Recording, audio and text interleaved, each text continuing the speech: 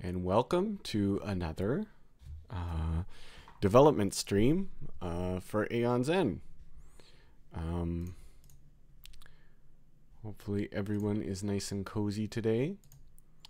Um, so this uh, stream um, assumes that you have seen the, the previous one um, because some of the things that I am going to talk about kind of expand on um, the concepts covered last week. Um, I guess I'll keep this this open so we see a little bit less of the infinite stuff going on. Um, and uh, if so, if you haven't, you might be a little lost, um, but that's okay. You're of course still welcome to be here, um, but you just might not completely understand uh, everything we're we're talking about. Um, so, but for those of you who were here last uh, week, hopefully uh, this will be interesting for you. Um, so before we get in to actually coding, uh, I just want to go over um, a little bit of some concepts, three important concepts in the engine um, that we'll be using today. Um, and these will kind of help help you understand a little bit about uh, why we're programming things the way we are and stuff like that. So the three important engine concepts I'd like to go over are uh, game actions, triggers, and activations. Um, and because I don't see any complaints, I'll assume everybody can hear me fine. Uh, so I'll keep going. So the first is game actions. Um, so whenever the game or a card does anything, um, you know, it's not just doing some logic. It's actually like uh, performing something in the game. Um, whatever it does is encapsulated in a dedicated game action. Um, so some examples of these would be moving a card from one place to another. That's a game action. That's something that's happening within the game. Um, so this has a dedicated object uh, called move card action, and uh, you provide which card is moving and where it's moving to. Um, it already knows where it's moving from because you can get that information from the card. Uh, another example is casting a spell with a cast spell action. So you say which mage is casting the spell, uh, which spell is being cast, and what the target is. Um, and you can't just get the uh, the mage information from the spell because in Aeon's End, um, other mages can cast the spells of uh, of other mages. Um, so you can't assume that it's the one who has it prepped or anything. So you always provide that information. Um, and another example is using an ability. So you just say use an ability, and then you provide which mage is using the ability, and that's really all that's necessary because all the rest of the code uh, the mage has. And we'll go into that a little bit more later. Um, so before and after a game action occurs, uh, they, that is the game action, are sent to the view so that it can um, prepare for the action so it might want to like go into a different screen or something like that. And then display any animations or effects related to that action. Um, so uh, I'll give an example of that in a bit. Um, but basically, the act sending the the engine sending actions to the view is how the view knows what to show or do or whatever next. Um, otherwise, the view would just sit there not knowing, and the engine would crank away at uh, internally, but the view would have no idea what's going on because that's the way, that's one of the main ways that the engine talks to the view is by sending over these game actions. Um, so encapsulating an action is part of the uh, command design pattern. Um, for anyone um, who's done object-oriented programming, um, design patterns are sort of tried and true um, ways of programming um, that were developed or I guess that were compiled together in a book. Um, can't remember exactly when. Um, but uh, it was sort of a, a, group of programmers that came out with this book, and it's been really influential in uh, pro- object-oriented programming. Um, but it keeps all the information about the event together in one package. And this is extremely useful because then if you need to know anything about what's going on, uh, it's all encapsulated in an object, which is much easier to deal with than a bunch of parameters flying in different directions. Uh, any questions on that?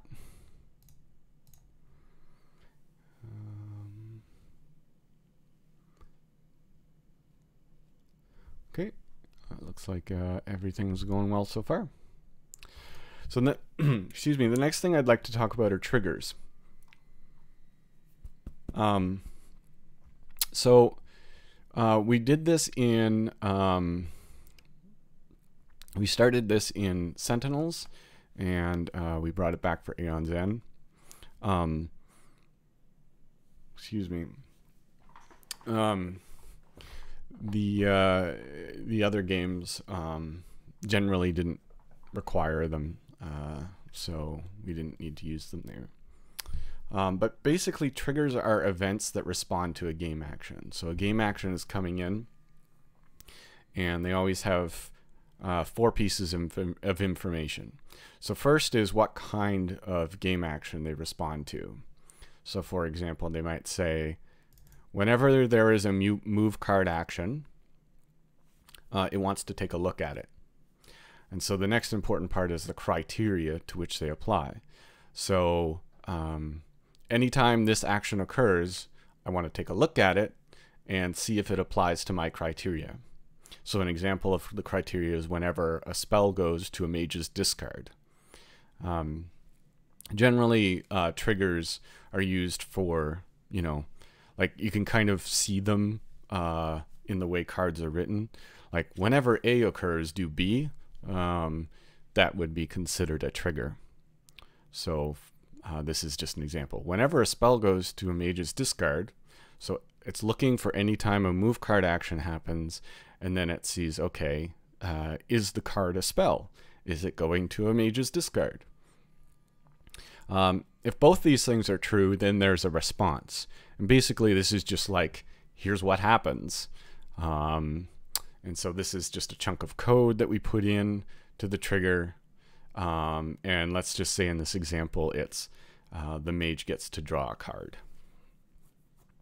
Um, and so it meets these two and does this response. And the fourth piece of information that's really important is the timing. Um, whether the trigger responds before or after the game action. So it is allowed to um, a trigger is allowed to respond before the game action has actually happened, but is about to happen. So an example of uh, events from before an action would be increasing the amount of damage when a spell uh, will deal damage. Um, redirecting the damage to another target, or canceling the game action altogether. Um, so we'll be seeing an example of that. And an, an example events that happen after game action. Um, there aren't a lot in uh, Aeon's End so far, but one example is um, Adelheim has the ability to, uh, after a, a um, Nemesis card has been drawn, um, you're allowed to look at it and then decide whether or not it takes effect. Um, so if you use his ability, the card immediately goes to the Nemesis discard and the card has no effect. Um, so this is a good example of, a, of an after game action. So right after the Nemesis draws a card, this trigger goes off. And it says, oh, hey, uh, you can use your ability now if you want to. Uh, if you do use it, um, then it cancels the action right here. It cancels um, the part where it actually plays the card, and and then it uh, its response is to move it to the discard. Um, are we good so far? Let's see. Um, the lurk and work. All right, looks like everybody's uh, hopefully following along. All right, um, next up is activations. Um, so activations are anything in the game that the player is able to directly interact with. And by the player, I mean like, um, you know, the, the person physically sitting at the computer clicking on things or whatnot. Um, as opposed to like the mage. Um, so all the activations are sent to the view, and then the view tells the controller which one the player wants to use. Um, so some examples are, you know, the uh, in the main phase it sends play uh, one play card activation for each card that can be played. Um, in the casting phase, it sends one cast spell activation for each spell that can be played, or, or sorry, for each spell that can be cast.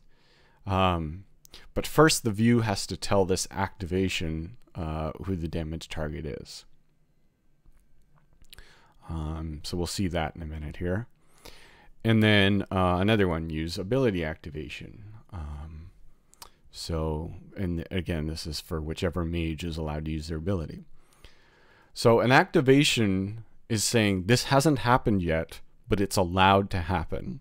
And it just sends, you know, maybe perhaps like all three of these to the view at once and says, here's all the options of what the player can do and here are the parameters um, relevant to those um, to those activations. And so the view is responsible to uh, tell the controller uh, to proceed on an activation. And the activation runs the code of whatever the activation actually does. So the view might call proceed on play card activation and it will play that card. Um, you know, there's of course some internal logic there. Um, like when you gain eth uh, ether, um, some new activations come in, and as you spend it, some of them go away and stuff like that. Um, so there is a bit of internal maintenance, but that's the general idea. Um, just checking if there's any questions. Okay, seems everybody's either following along or busy with something else. Um, okay, so um, so here's an example of all these things sort of coming together. So here's an example for casting a spell. So the controller is over here, and that's the part that David and I program. And the and the view is over here, and that's the part that, um, well, there, there's three views. There's the unit test, again, which David and I program, the um, console, um, which David and I program, but then there's like the main UI view, uh, which is what um, players see when they play it, uh, either in beta or in release. And that's John's responsibility, and that's the most complicated view of the three for sure. Um, and so the general flow Okay, so let's say there's a cast spell activation coming in. So we're in the casting phase. Um, there's a card Spark, and it's prepped, and it's ready, and it can be cast, but it hasn't been yet.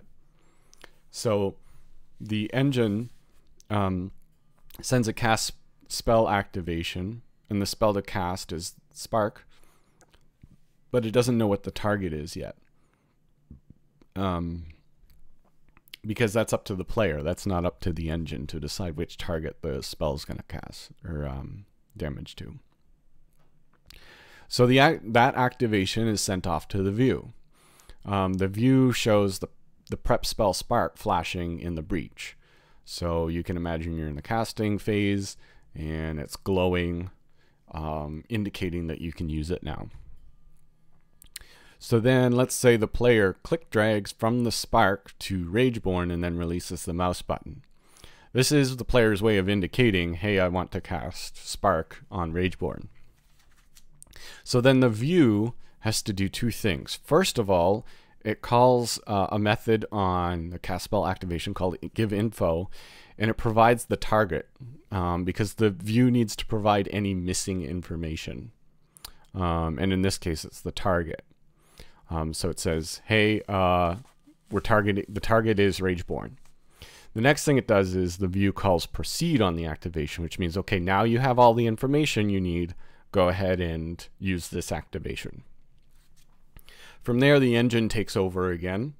Um, so the first thing that it does is it creates a cast spell action, and uh, its parameters are um, the spell to cast is Spark, and the target is Rageborn.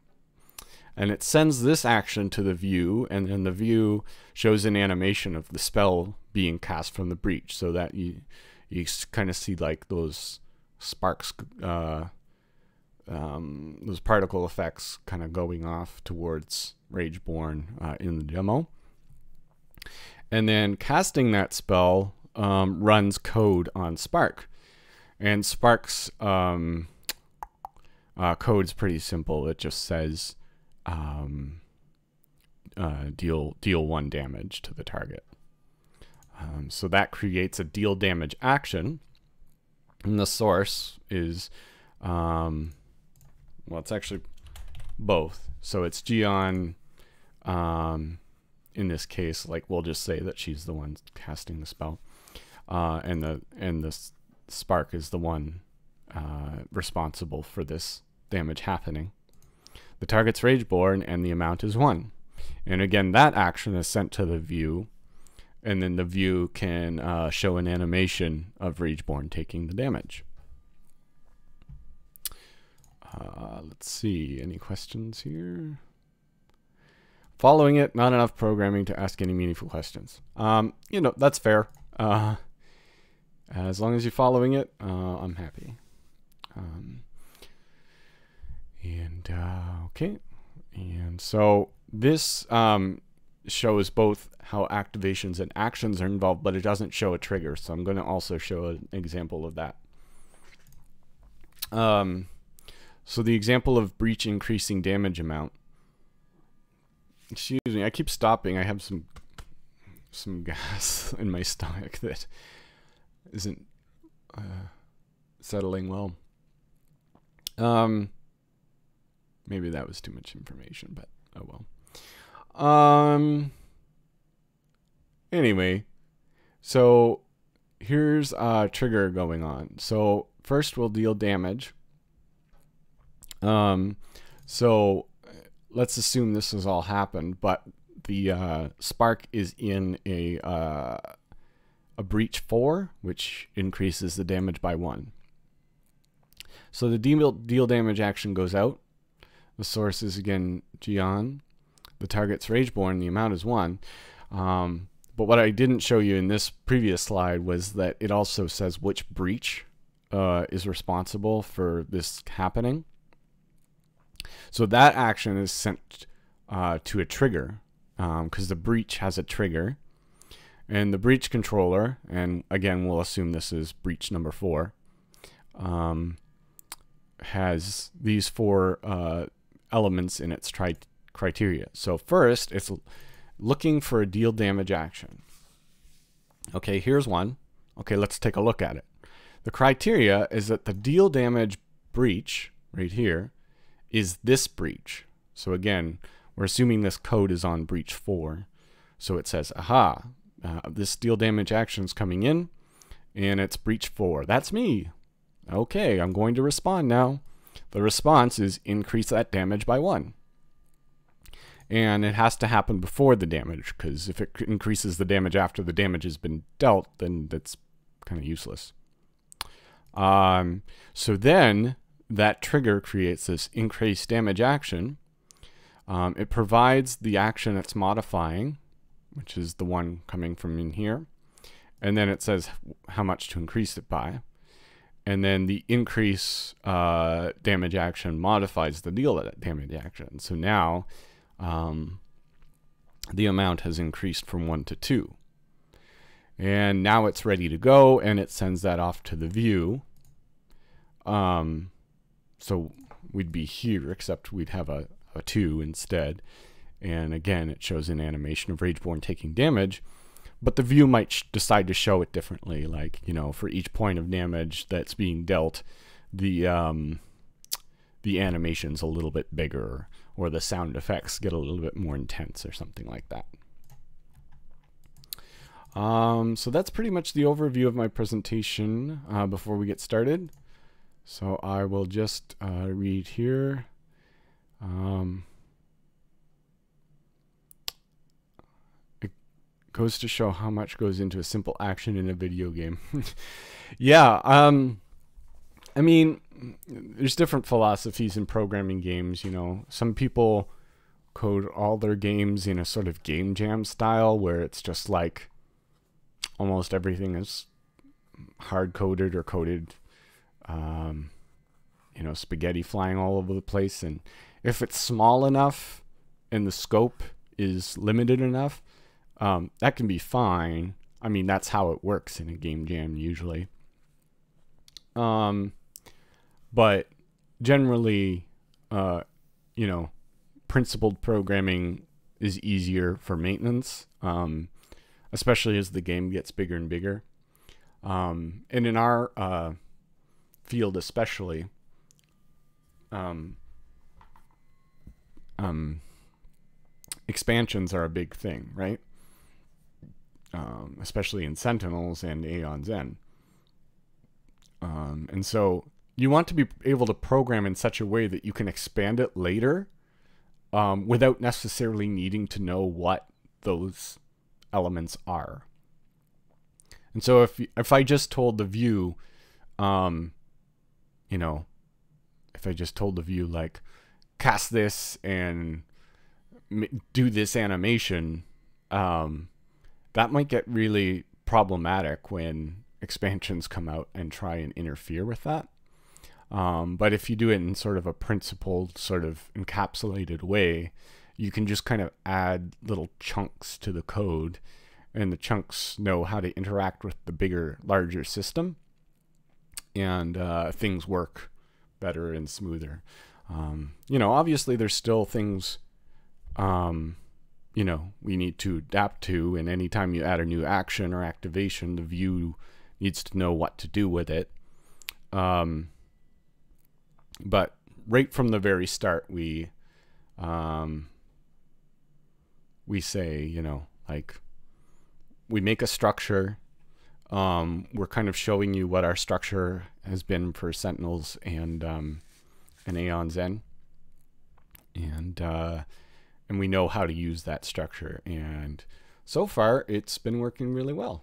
Um, it doesn't mean there's no bugs, but it means that when there are bugs, we know what to do and where to go. We're not just like following strings upon strings of like threads going down into other threads that go over here that go over there and it's like really hard to fix anymore the exception to that is Guise um, but uh, if we'd known about Guise right from the start we might have accommodated him a little bit better but um, we do what we can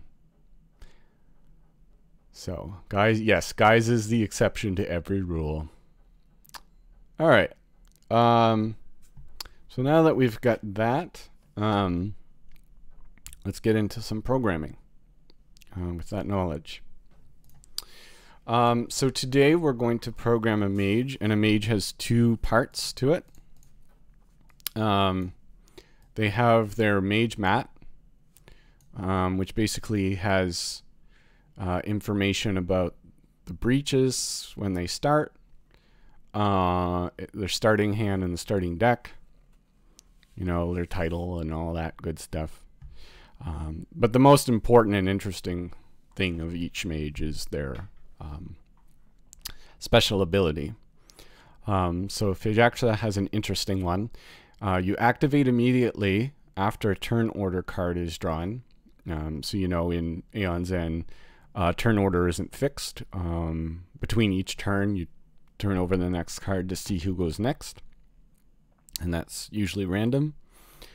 Um, so right after you do that, you can use this ability, which prevents any damage that the players or Gravehold would suffer during that turn. Um, that's a really powerful ability, um, you know, especially as things get desperate.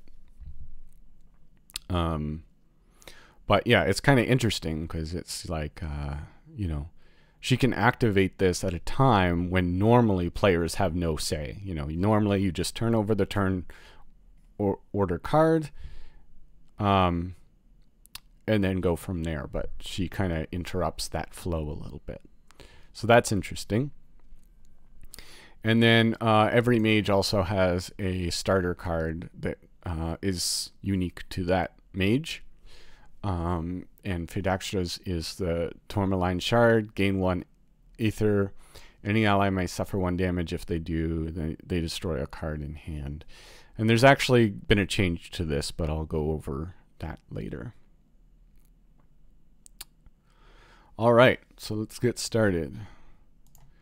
So if you'll remember from last week, the first thing that we do is a definition. Um, and this is basically just kind of text data uh, explaining, basically making it so that the game has some reference point for what this even is.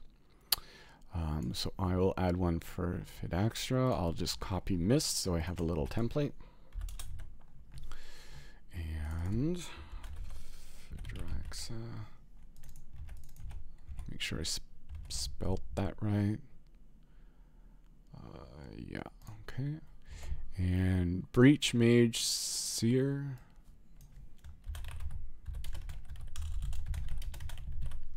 Um, all mages have a max life of 10.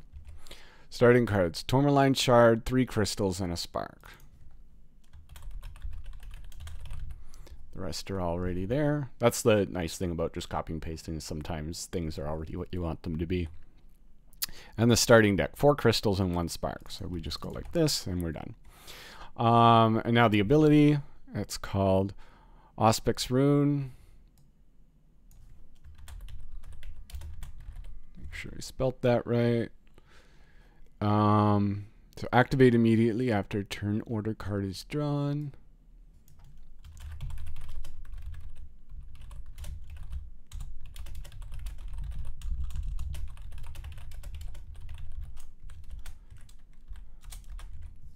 Prevent any damage that the players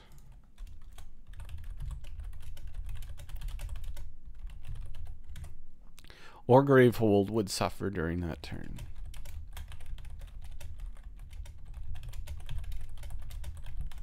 Okay.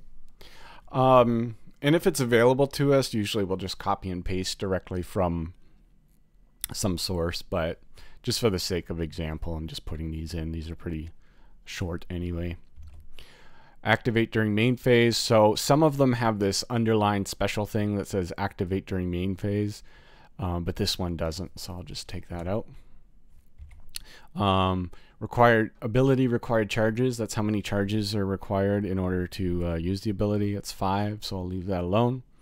So interestingly, she has no breach one. She only has three the whole game. Um, so I just take this out. And then um, this one starts open, so I'll take out the rotation information, um, which means that it starts open. This one starts at rotation, so the top is zero, the left is one, the bottom is two. It's just sort of something to remember. Um, so that one starts at two, which it already is, and then this one just starts at one.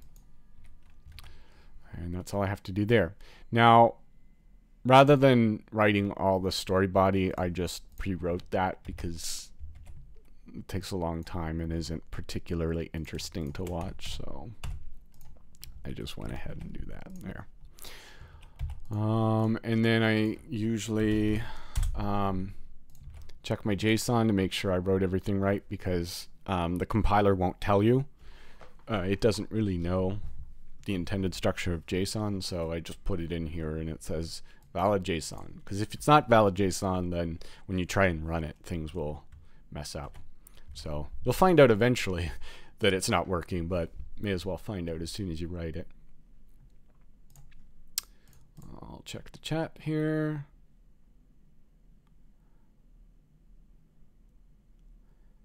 Um, with these encapsulated systems, have you reviewed all the AI AE expansion legacy content to ensure you don't run into something like Guise.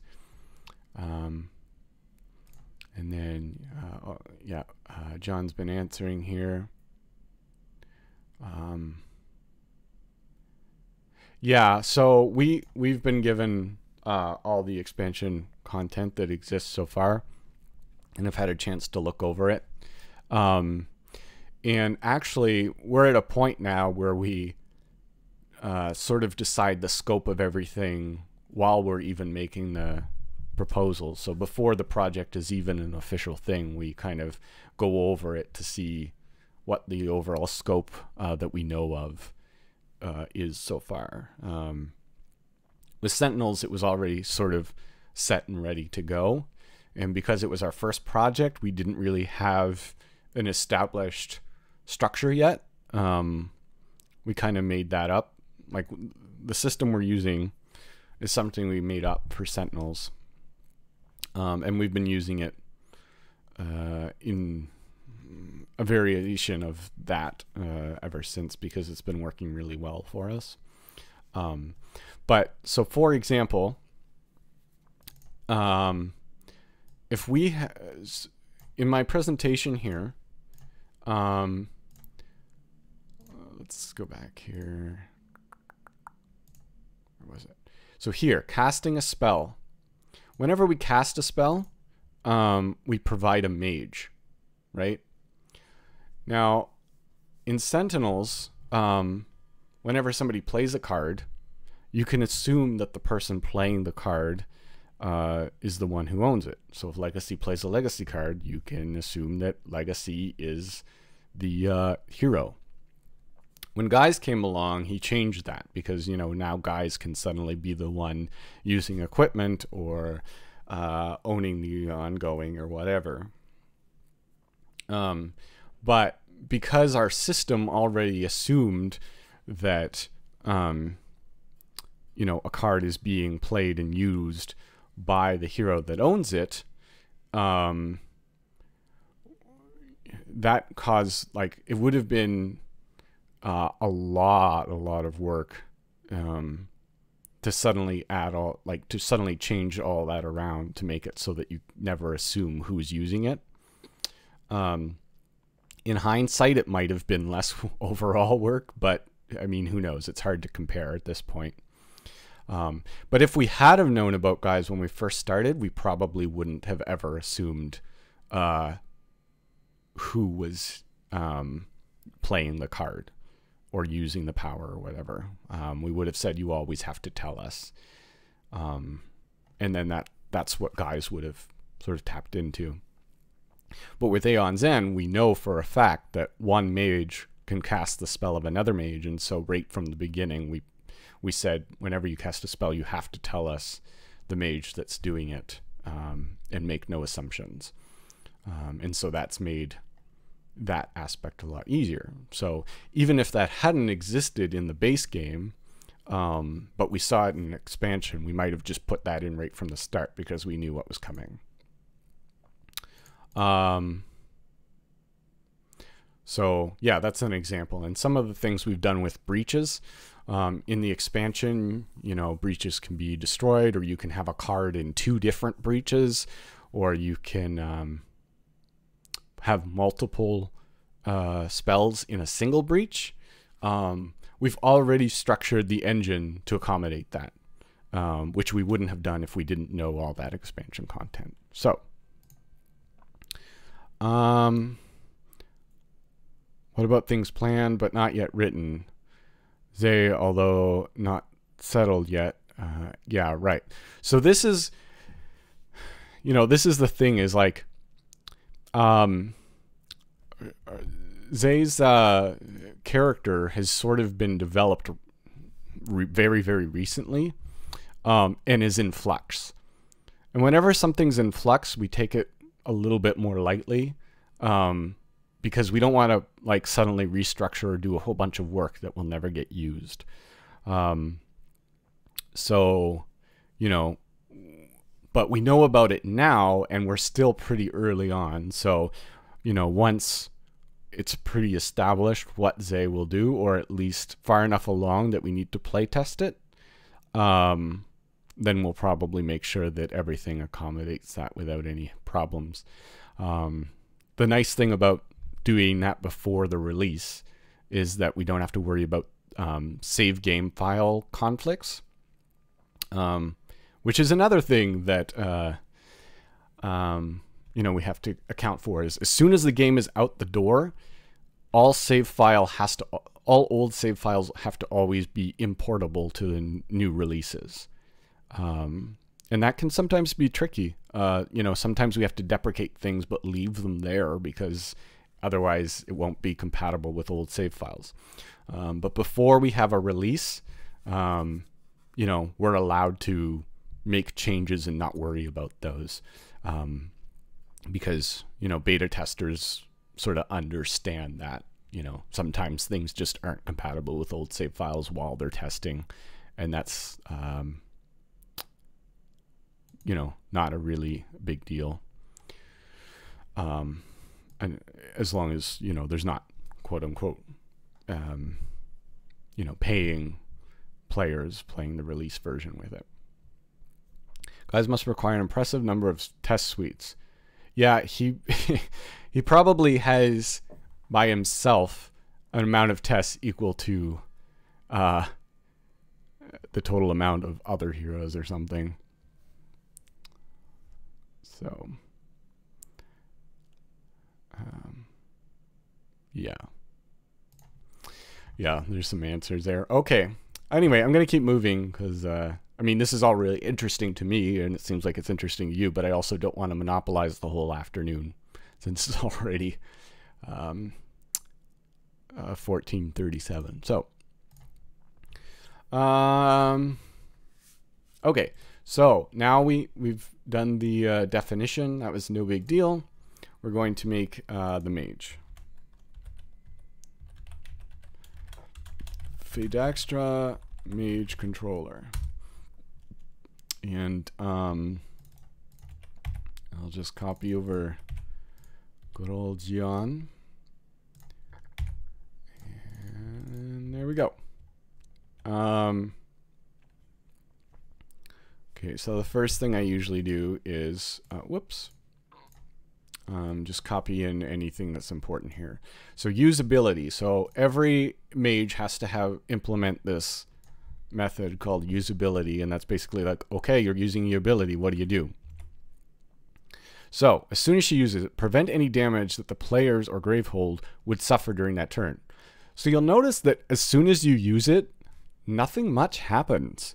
Um, it doesn't immediately change anything. All it really does is uh, basically it just sets a flag saying prevent damage this turn. Um, now we don't have a global no damage this turn thing. So usually when it comes to something special like this, we have the uh, the card um, keep track of it by itself. Um, and this is just encapsulation. Yeah, basically like separation of concerns, like only Phaedraxa is interested in this. So the first thing I'm going to do here is make a property. Um, let's see, what will I call it? Make it an int. Damage, damage, oops.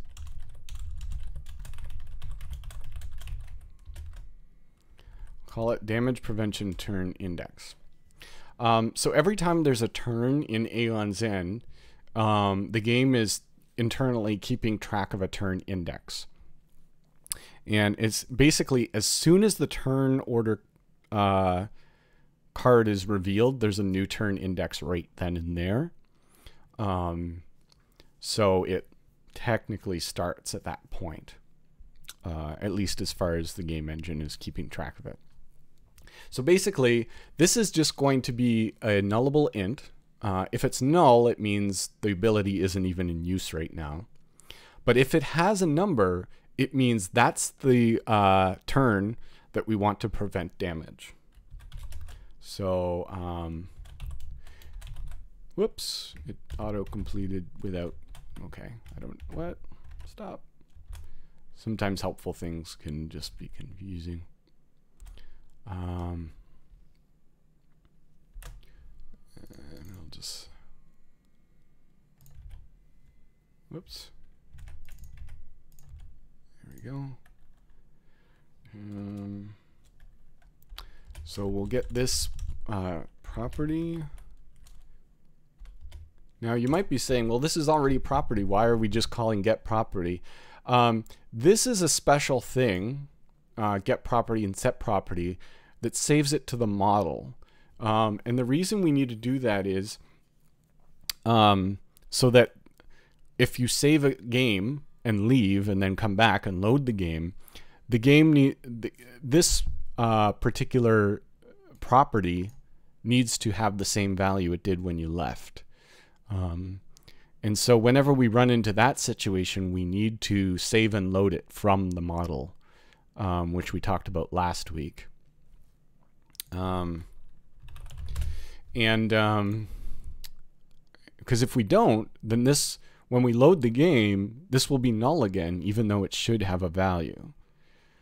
And so that's something we've got to be careful with with the model view controller um, structure is knowing when something needs to be in the model and when it can just exist in the controller. And in this case, it needs to be in the model.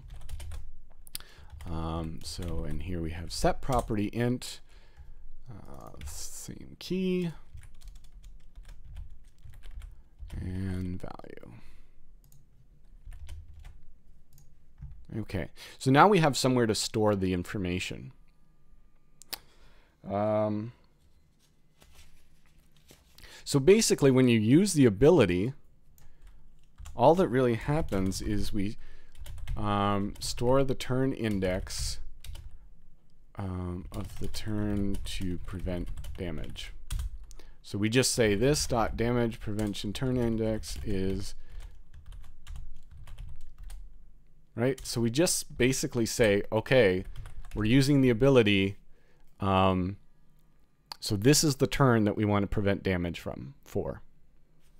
Um, and that's basically what using the ability does, because usability is just what happens right now, right? What happens as soon as you click on this, and that's all that basically happens. Um, so all the magic happens later, and that's why uh, I made sure to introduce the idea of triggers and stuff. So I'm just going to take a look here.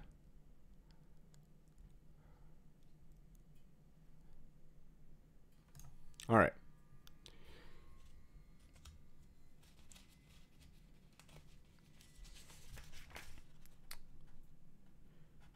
So, um, right. So there, there's an override function here um, called add triggers.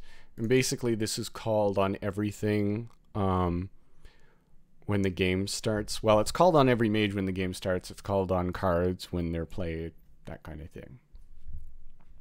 Um, so basically, this is like, tell me all the triggers you need to exist. And a lot of cards don't need triggers. In fact, most cards don't, and most mages don't. But Fate does because this is sort of um, this is an ability that has like a period of time and looks for certain events and stuff. So um, the first consideration is when does this actually activate? Um, when does this happen? Um, so it says activate immediately after a turn order card is drawn. So I'll put that in there and I can just uh, copy this from here. Okay, so we'll add a new trigger. And the first thing we have to do is um, say what kind of game action we're looking at. And in this case, it's a move card action because it's basically when the turn order card moves from the deck um, to the discard to determine which player is going. The next thing we need is a criteria.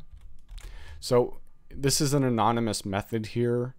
Um, I won't really go into explanation as to what those are, but just in case you're wondering what this is all about if you've never seen this before. But it's a way for us to make the criteria really quickly.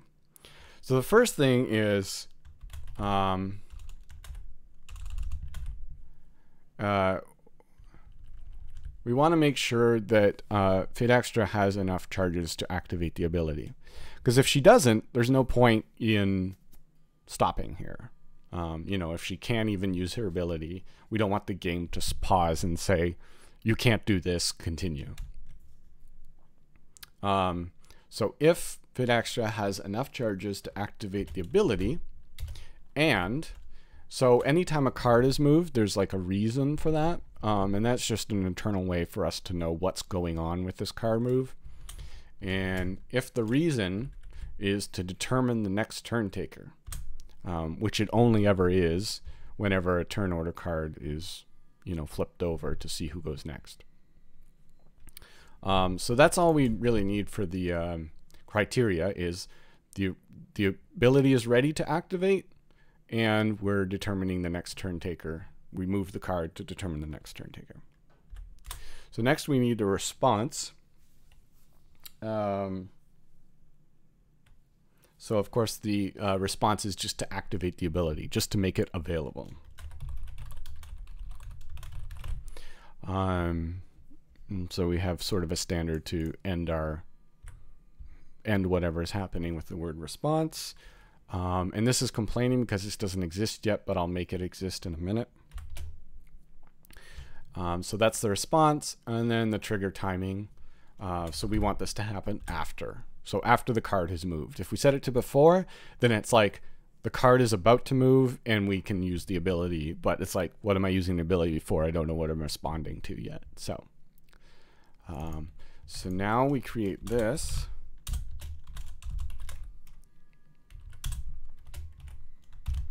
Um, and then every response has to take in the action uh, that occurred. Um, just in case it's important. Sometimes it's not, sometimes it is, but we just always provide it because it's, then you have it.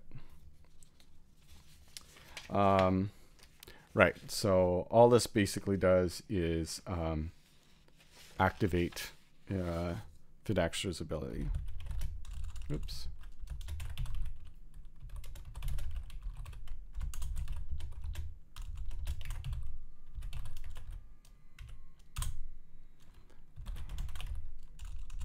So this is the mage that's that can use the ability. And then there's a boolean called wait. Um, wait basically is like, do I have to sit here and wait for them to use this, or can I just like move on and leave that activation hanging? Um, in this case, if we set wait to false, um, then Phaedraxa's uh, ability would activate, but it would just move on to the next turn. Uh, and that's not good because you want Phaedraxa to like decide, are you going to use this or not right now? Um, so we'll say wait true.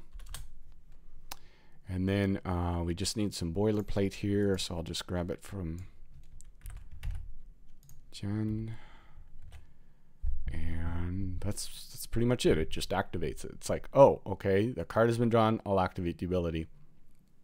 Um, and activating abilities is by default optional. Um, so they'll also, it'll send, actually send two activations. It'll send the ability activation and a continue activation. The continue is basically like, I don't want to do any of the activations right now. Um, so it's, you know, skip or whatever, to, however the view decides to show that. Um, okay, no questions, so I'll keep moving. Um, so the ability's been activated, and when you use it, it just sets the turn index. So it's like, okay, I'm going to prevent damage this turn. Um, so the next thing we have to do is actually prevent that damage, because otherwise this this um, value is pretty meaningless if it doesn't actually do anything. Um, so I guess I can just copy from here. Okay. So I'll add a new trigger. And this one responds whenever damage is dealt. So deal damage action. And we need a criteria because we don't want it to respond to all damage. Uh, we just want it to respond um, in certain situations. So first of all, we want to make sure that uh, we're looking at the right turn, right? So damage prevention turn index has val value equal to the current turn. Basically, this says make sure that this turn and this turn match. Um, and I mean, I'm going to do some maintenance to make sure that it, it should never be the case that they don't match if it has a value. Um, but this is sort of like bug prevention kind of stuff where it's like, let's say for whatever reason this didn't change and always had a value and I didn't check it, then all of a sudden damage would be prevented to players and um, to players and the um, Gravehold for the rest of the game. um, which, you know, some players would like, but I think most would just be like, okay, this is too easy. It's not fun anymore. Um, so this is more of a a backup plan, and you know sometimes you do that if not doing it could result in um, a substantial bug. All right, so that's just basic error checking. But the main thing we want to check here is uh, is the damage target a mage or is the damage target uh, Gravehold? That's the more sort of like meat of this. And if it is, prevent damage response and trigger timing. Now this one is before because it has to cancel it before it happens. If it cancels it after it happens, it's already happened, so it doesn't matter anymore. Um, so we go ahead and do that. Okay, it wants to do a different line thing, whatever, that's fine. Um, so, then we make another private. Um, and this is for a deal damage action. And, um, and then so this time, we just prevent the damage. Um, so to do that, we just go cancel action and then we say, what are we canceling? We're just canceling the damage. Uh, and that's pretty much it. Okay, so now we uh, prevent any damage on that turn that happens if the damage target is a mage or is gravehold. And then the last thing we need to do is set this back to null after the turn ends. Um, and that's just to make sure it's not hanging with some value that you know, doesn't apply anymore. Again, it won't, even if we don't do this, it won't cause a problem because um, it'll, it'll check for the turn index anyway. But it's not good to have what I at least call uh, hanging properties, basically like leftover data that's sort of meaningless by that point. So uh, reset the turn index the turn. So we add one more trigger. And so this is when we're leaving uh, the turn. So uh, change state action. Um, we use states instead of uh, phases in Aeon's End because it's a little more granular than what uh, you see in the rulebook. Uh, but it's basically the same idea. Um, so basically, um, if the if that value, if that property has a value at all, um, and we just left uh, a, a turn. Basically, if the one we're, if the state we're leaving from is the end of turn, um, then here's where we need to reset it.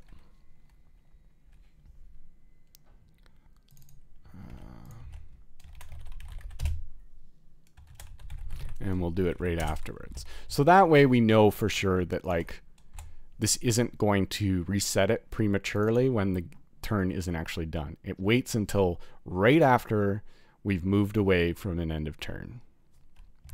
Um, and this is pretty straightforward. Uh, change state action. And all we do is set this to null. And then we have to, even though we're not doing anything, uh, an enumerator has to return something. It can't just, it's not like a void where I don't have to do anything at all. So we just return null and then it knows there's nothing else to do. Um, reset the to null. Okay. And as far as I know, that's pretty much it. We've just uh, coded her ability. Um, so I'm just going to take a look here. I'll take it. Okay. Um, so uh, the next thing to do here is um, make a test for this. So first I'll compile my code, make sure there's no problems. Um, where'd all my tests go? What? Did I load the wrong project? No. Unit tests. Um, showing a test summary here. Oh, okay. This is filtered. All right. Filter. All right. Oh, great. Good thing I saw that. All right. I was like, what's going on? Where'd all my tests go? All right. So the next thing to do is to make a test. Um, so I will do that.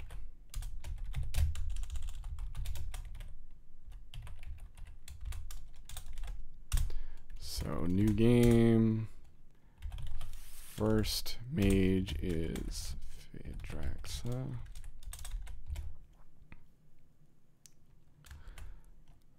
So go. So the first thing we want to do is go to determine a turn um, taker, and we expect that there's not going to be anything special going on. Um, so we're not going to prevent damage. So we go to determine next turn. We want Phaedraxa to go. So she doesn't exist as a property yet, so I'm going to have to do that. I'll just go like this. Uh, we just make little shortcuts here um, for each of the mages so that they're um, quick to access when we need them. Um,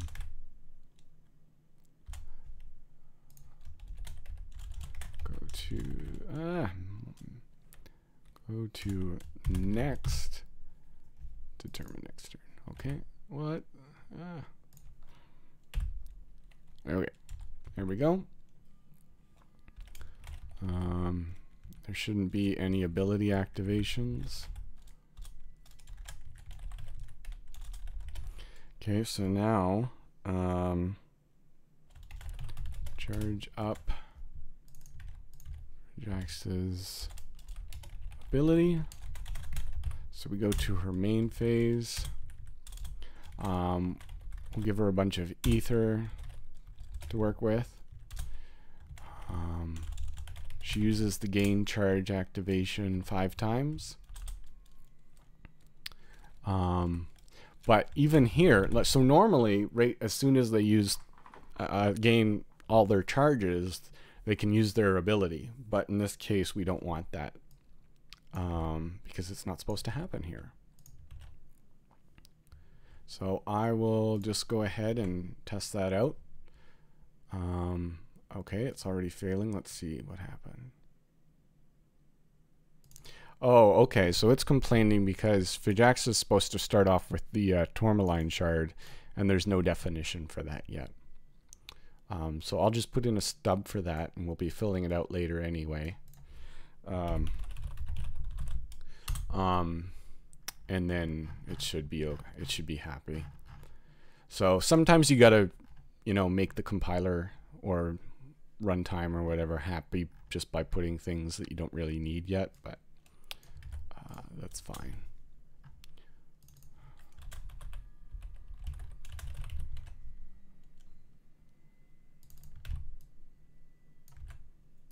So I may as well just put in all the information since I'm here anyway. So it is a gem, cost zero, uh, gain one ether.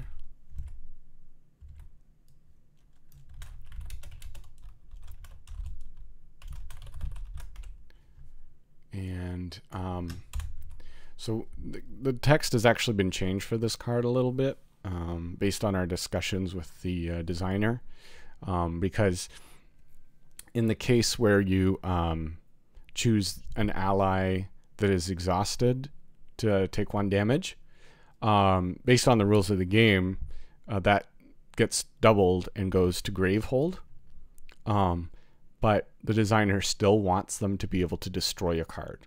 Um, so really, it's any ally may suffer one damage and destroy a card in hand. So they don't actually have to be the one taking the damage um, to destroy their card. So that's the difference there.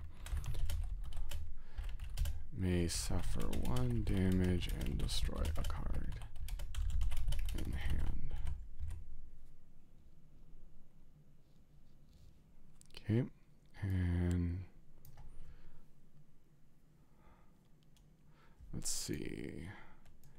Damage one, destroy. Uh, what's ether? Gain ether. Okay. Gain ether one. Um, and I'm just going to put FPO here in case, uh, just so it's more obvious that this needs a second look. And then the flavor quote. Uh, I have that here. Um, again, it's really hard to see on these things, so I just look at a at a physical card. Um, right, so it's just a flavor body.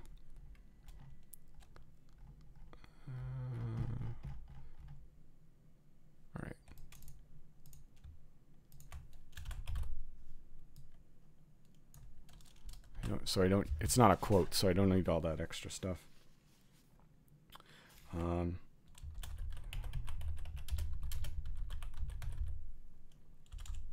burden with a sense beyond sight.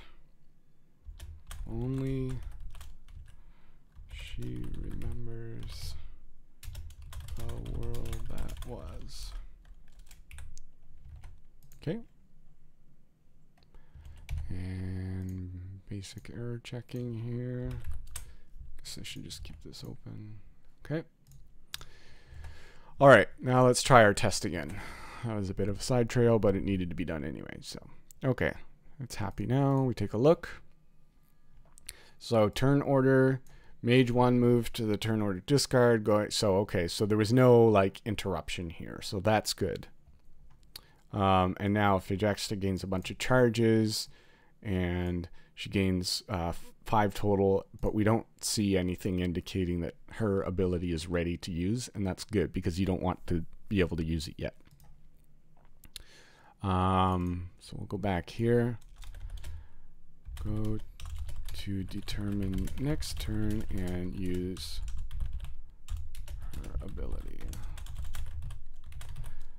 So we'll say that Rageborn goes next. And um, because it's waiting for us to reply, we actually have to like ahead of time say whether or not we want to use it. We can't decide at that moment. So uh, we'll say use next ability. Yes, do it.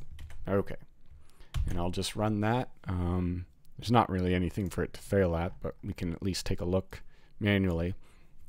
So the Nemesis card moved to the turn order discard. So an activation comes in. Uh, Phaedraxa's uh, Auspex rune ability or continue. So we can either use the ability or we can bypass it completely with a continue. And then using Phaedraxa's rune ability. Um, so it removes five charges and they now have zero total and then it disables and deactivates it.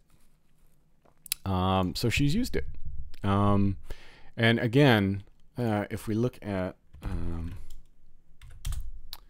uh, what's actually happening here, all it's doing is setting this. So there's nothing else we expect to see yet. So we won't be able to verify it works until we actually uh, get into the turn a little bit.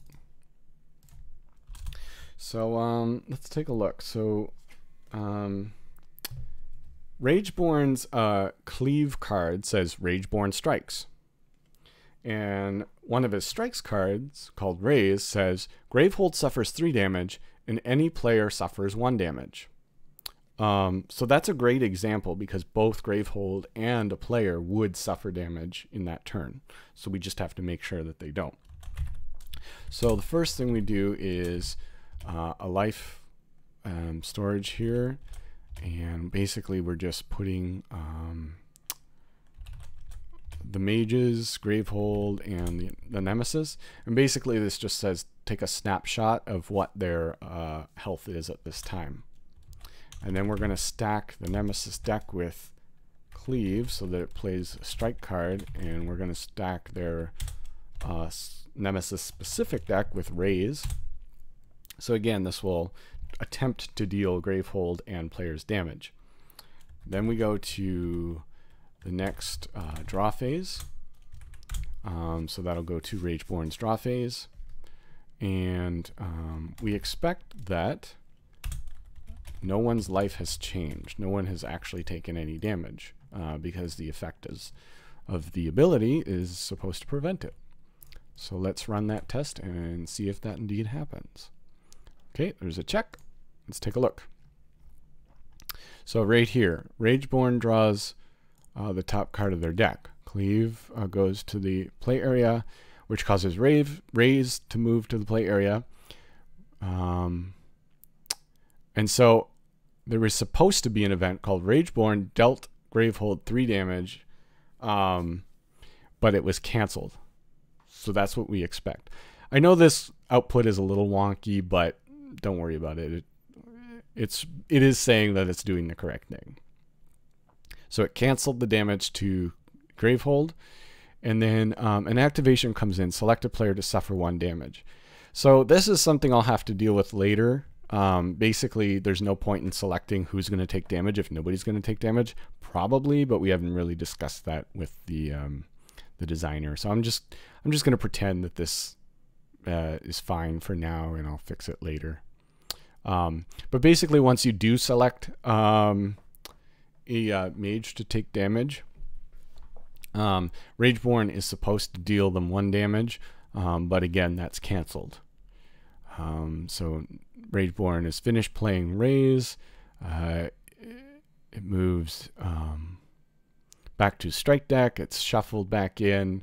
It removes Fury tokens because usually uh, that's what that's a part of what happens after he strikes. Um, and Cleave goes back to the discard, and Cleave is considered to have been played.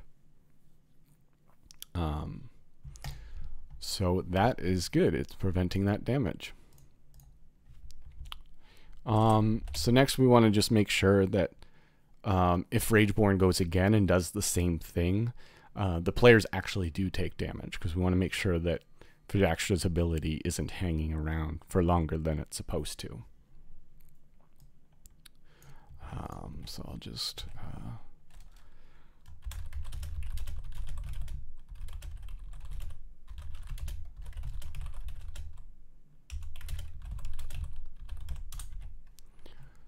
Okay, so we um,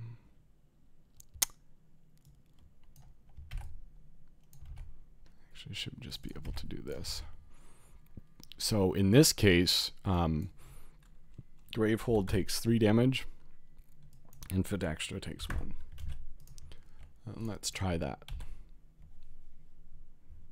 And another check, so that's good.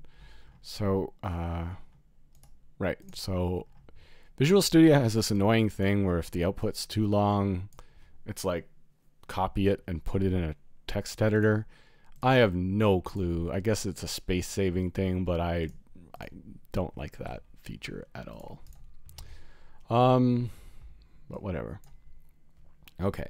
So here's the one where the damage is prevented and then here's where it's supposed to have gone away. Um, so cleave move, da da da. Rageborn deals Gravehold 3 damage, and they're now at 27 life. So it actually did go through this time. Before it said it was canceled, now it actually happened. And then Phaedraxa is chosen automatically, and Rageborn deals Phaedraxa 1 damage, and they're now, now at 9. Um, so indeed, it doesn't hang around when it's not supposed to. And that is pretty much it. We've just implemented uh, Phaedraxa in her ability. Um, so that is implementing a mage. I will commit that and then check if there are any questions.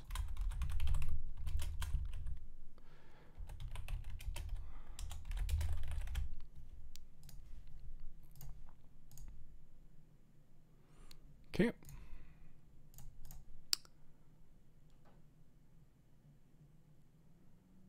Um, all right, looks like we've got some questions going on here uh, and some answers, but I'll just read them anyway. How does the code handle the act activation window? The ability says it has to be activated when a turn card is revealed, but I didn't notice where that was checked in the code.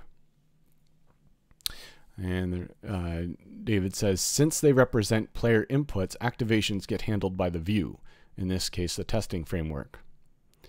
Uh, wait, I think I misunderstood what you said. The prompt to decide when to use the power props pops up due to a trigger whenever a turn order card is drawn.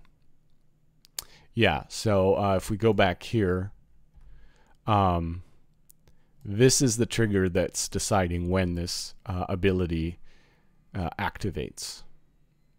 Um, so whenever we move a card, and the reason we're moving a card is to determine the next turn taker, and the ability is activated or rather it has enough charges to activate it. Um, then it just jumps here and activates the ability. Now, acti again, activating the ability doesn't mean it's using the ability. It just tells the view that it can be used now. Um, and that, so I think, you know, in a lot of, this is a little confusing just because in tabletop games, whenever it says activate your ability, um, that usually means you're using it right now. But this is just sort of a mixture of terminology here because in in our program, an activation just means something the player can do, not something they are doing. Um, so I can understand that if there's some confusion there. Um, remembers. Oh, did I spell something wrong?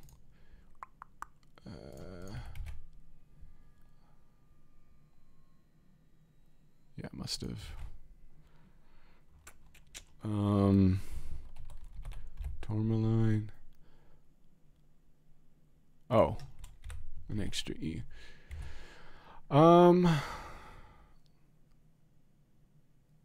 logical function greater than already understandable debug text formatting.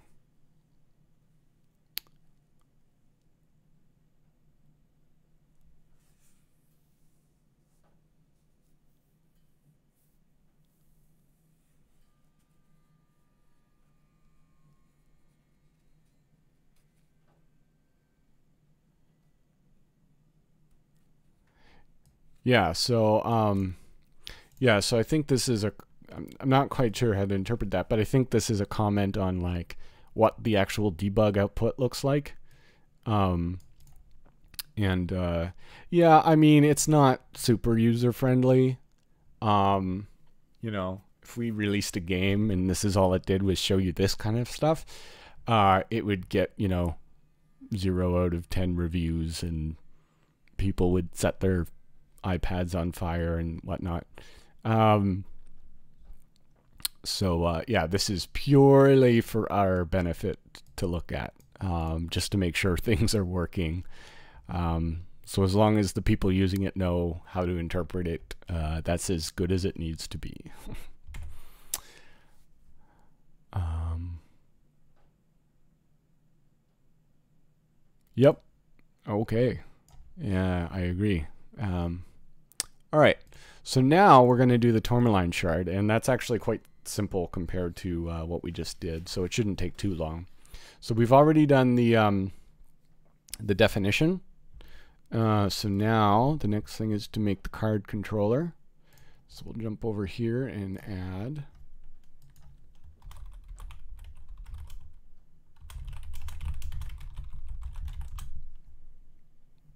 Um, and it's just a basic relic. Um, sure. I guess I'll copy this one.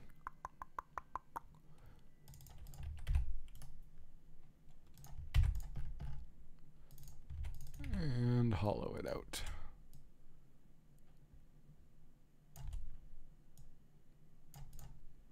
I'll leave this stuff here because that's useful. Um, right, so the first thing, any, first of all is gain one ether. Now, because this is a gem, and I guess I should put that, um, that'll happen automatically uh, because of this rate here.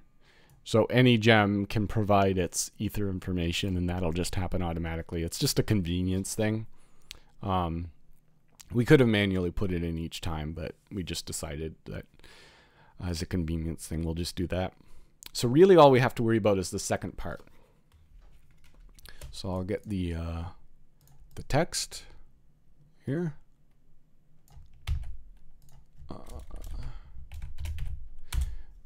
So any ally may suffer one damage and destroy a card in hand. So the first thing that happens is um, select target and deal damage. So the thing dealing damage is this card, so that's the damage source. The amount is 1. Um, the target criteria, it has to be an ally of um,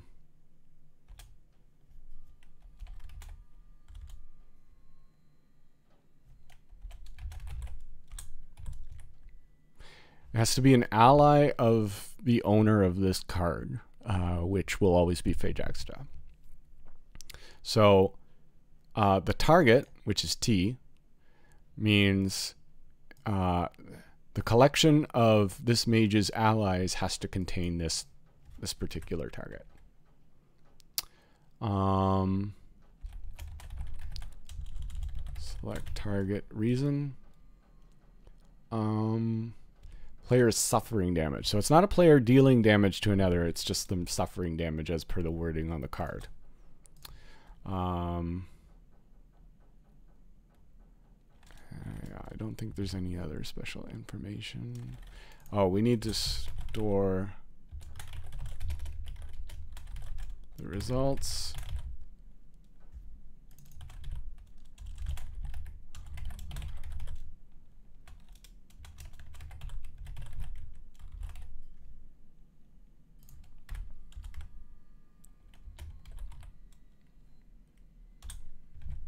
Okay. This is just a way for us to know who uh, took the damage.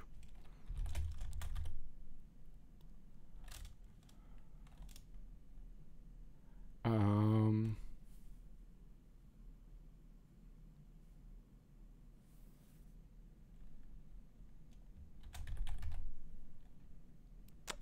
hold on.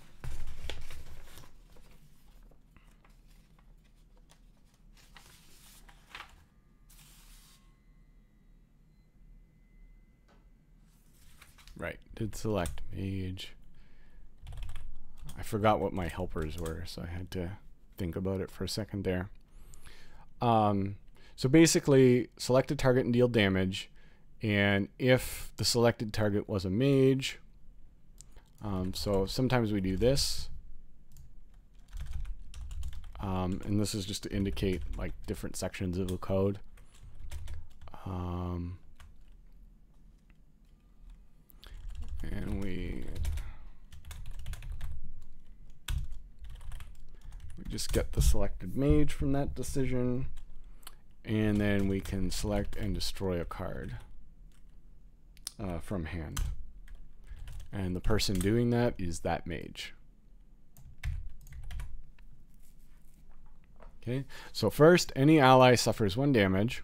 So we select who. It must be the ally an ally of um, of Phaedraxa. And that's one damage, and they're suffering damage, and we store that result. and if a mage was indeed selected, you know, because it might be that it's sort of an error checking thing. Uh, then we get that mage, since we already know a mage was selected, and then they get to destroy uh, a card from hand. Uh, and that should be it for the programming um, the card, but now we have to test it to make sure it actually works.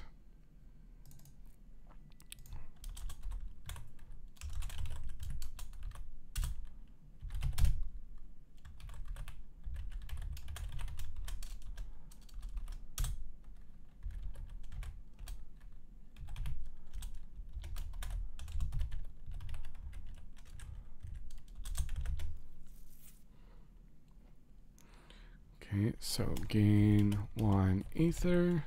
So we'll want to make sure that she's doing that. So first we'll go ahead and play it.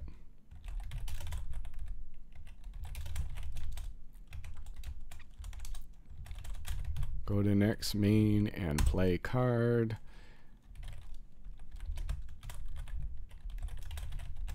Okay, so we'll assume she's already played it. Um, and afterwards, she'll, she should have gained gained an ether, uh, an unrestricted ether at that. And also, uh, now in this particular game, she only has one ally, so it'll automatically be um, Brama. So I think I'll add a third mage just to make it so that we actually make some sort of selection here.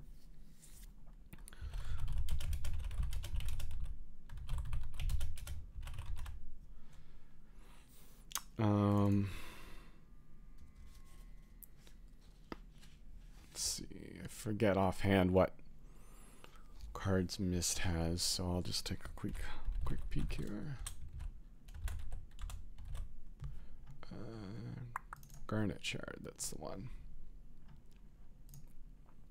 Um, so first we do some life storage um, of the allies.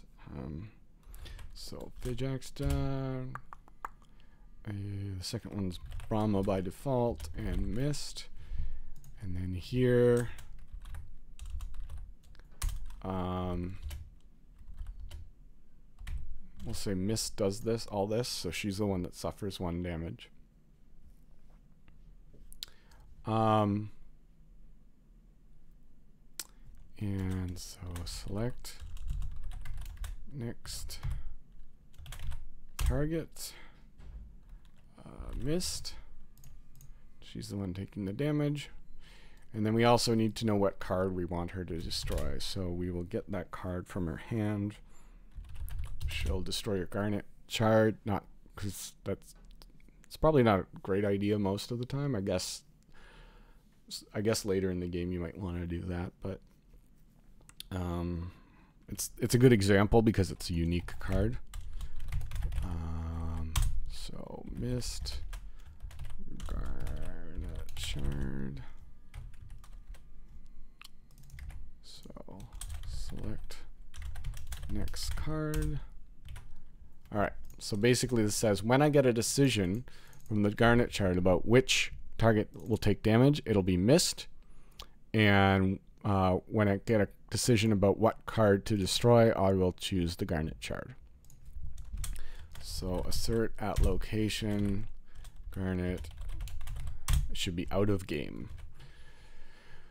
Uh, I think that's about that's about all we need to do here. Um, so let's run that test and see if something fails. Uh, there's a check mark, so that's good. So I always read them, even if they have a check mark, because sometimes it actually didn't do anything special. Um, so, playing the Tourmaline Shard, it moved to her play area. She gains one ether. They now have one total. Um, these move out of the way. A new activation comes in. Select a player to suffer one damage. We select Mist. These come back temporarily. Uh, Tourmaline Shard deals Mist one damage and they're not nine life. It disables them again because there's another decision to do. Um, destroy a spark. So these are the cards in her hand. She can decide which one she actually wants to destroy. These are separate activations. So spark, uh, one of the three crystals she has are the garnet shard. We choose to destroy the garnet shard. Um, it's moved out of the game. Garnet shard was destroyed. Um, actually played Tourmaline shard, and uh, it deactivated. And it's actually supposed to deactivate all these other destroy card uh, things. So I'm not sure if I must if I did something wrong there. Um,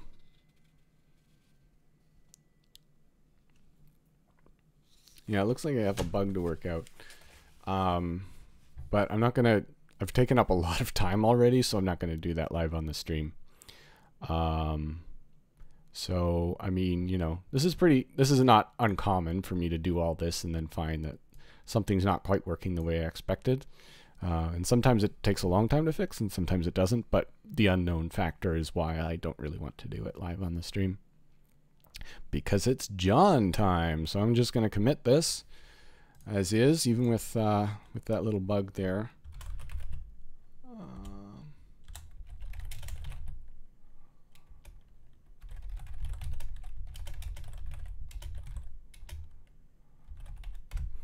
And I'll note that there's a bug to look at, um, but I'll push that up.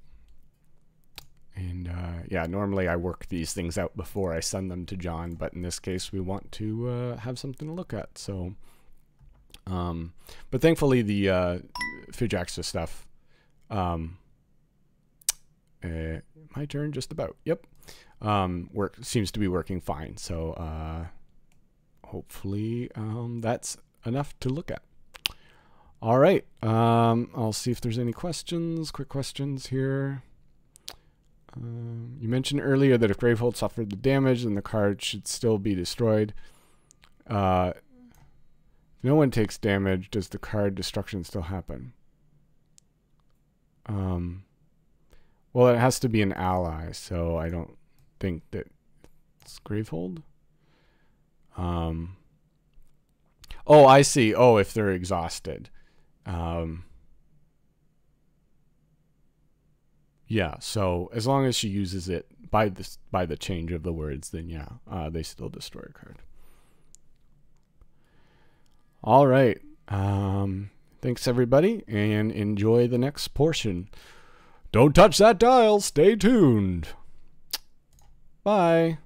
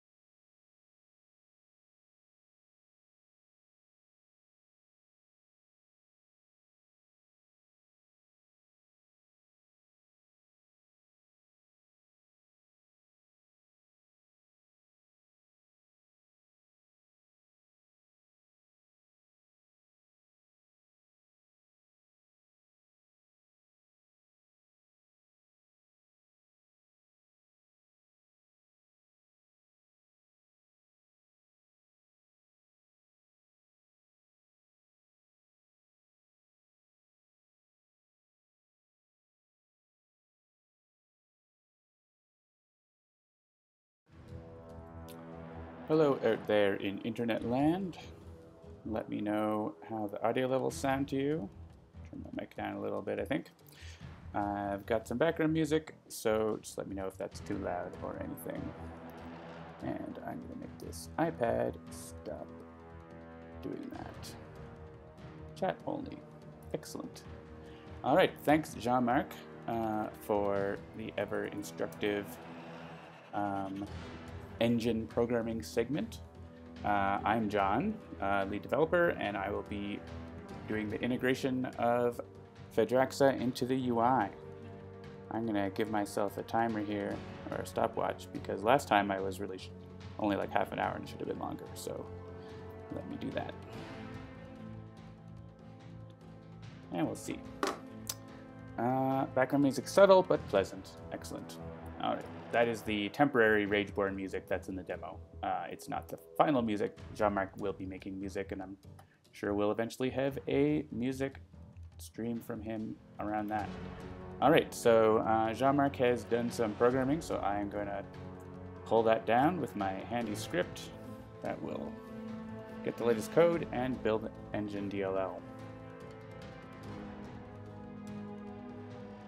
Whoa, so much .cs.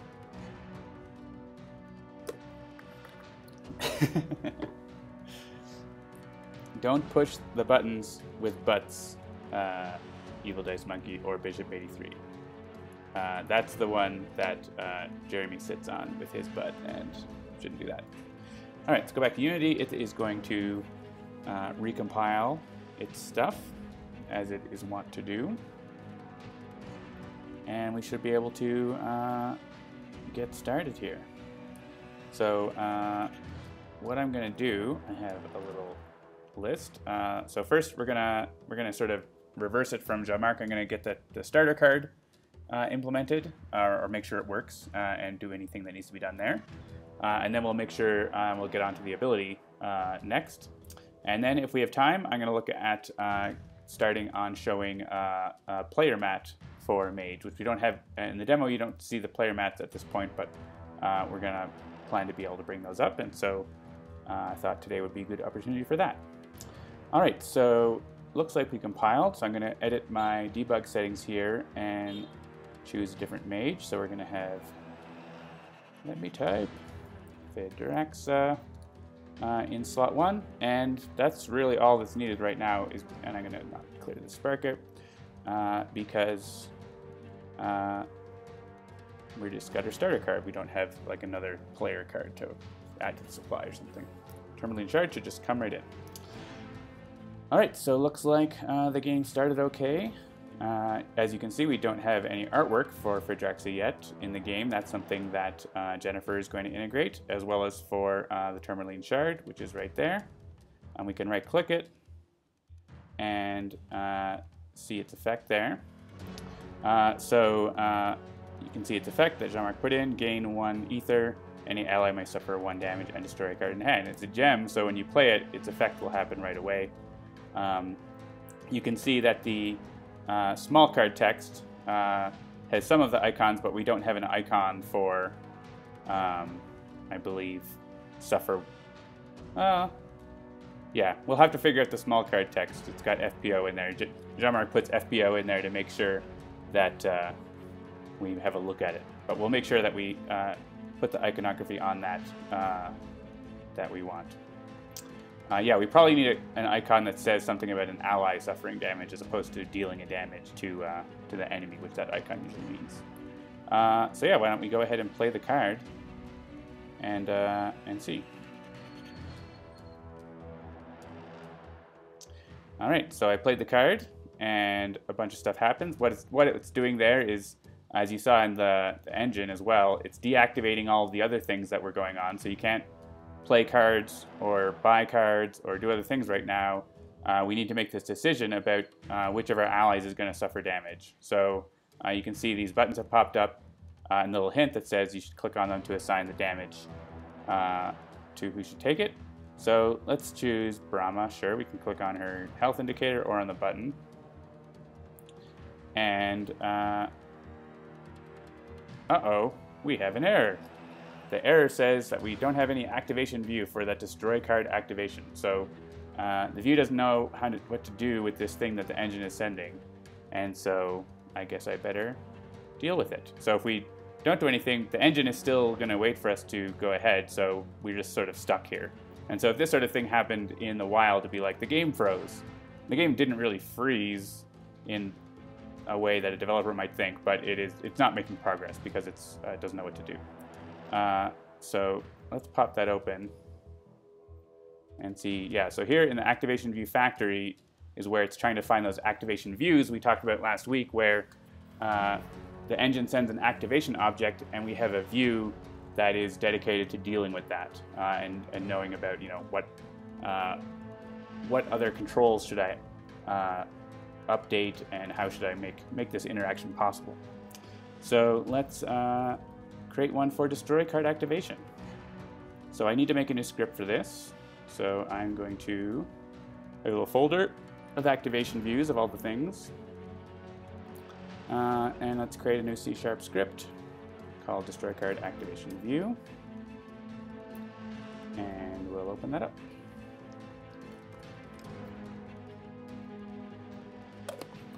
So here is our default Unity template. Uh, so usually it is, oh, I'm getting a spinny rainbow, which means I might have to restart Visual Studio here if this happens. yeah. Let's do that. Force quit. Whoa. Hall of Mirrors. Alright, sometimes it gets a little cray cray. Let's try this again. FPO FTW, says Cytosine. Exactly.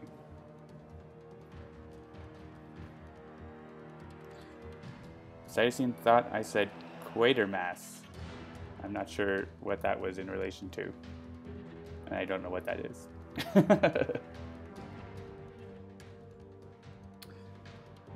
uh, let's come on, load the project.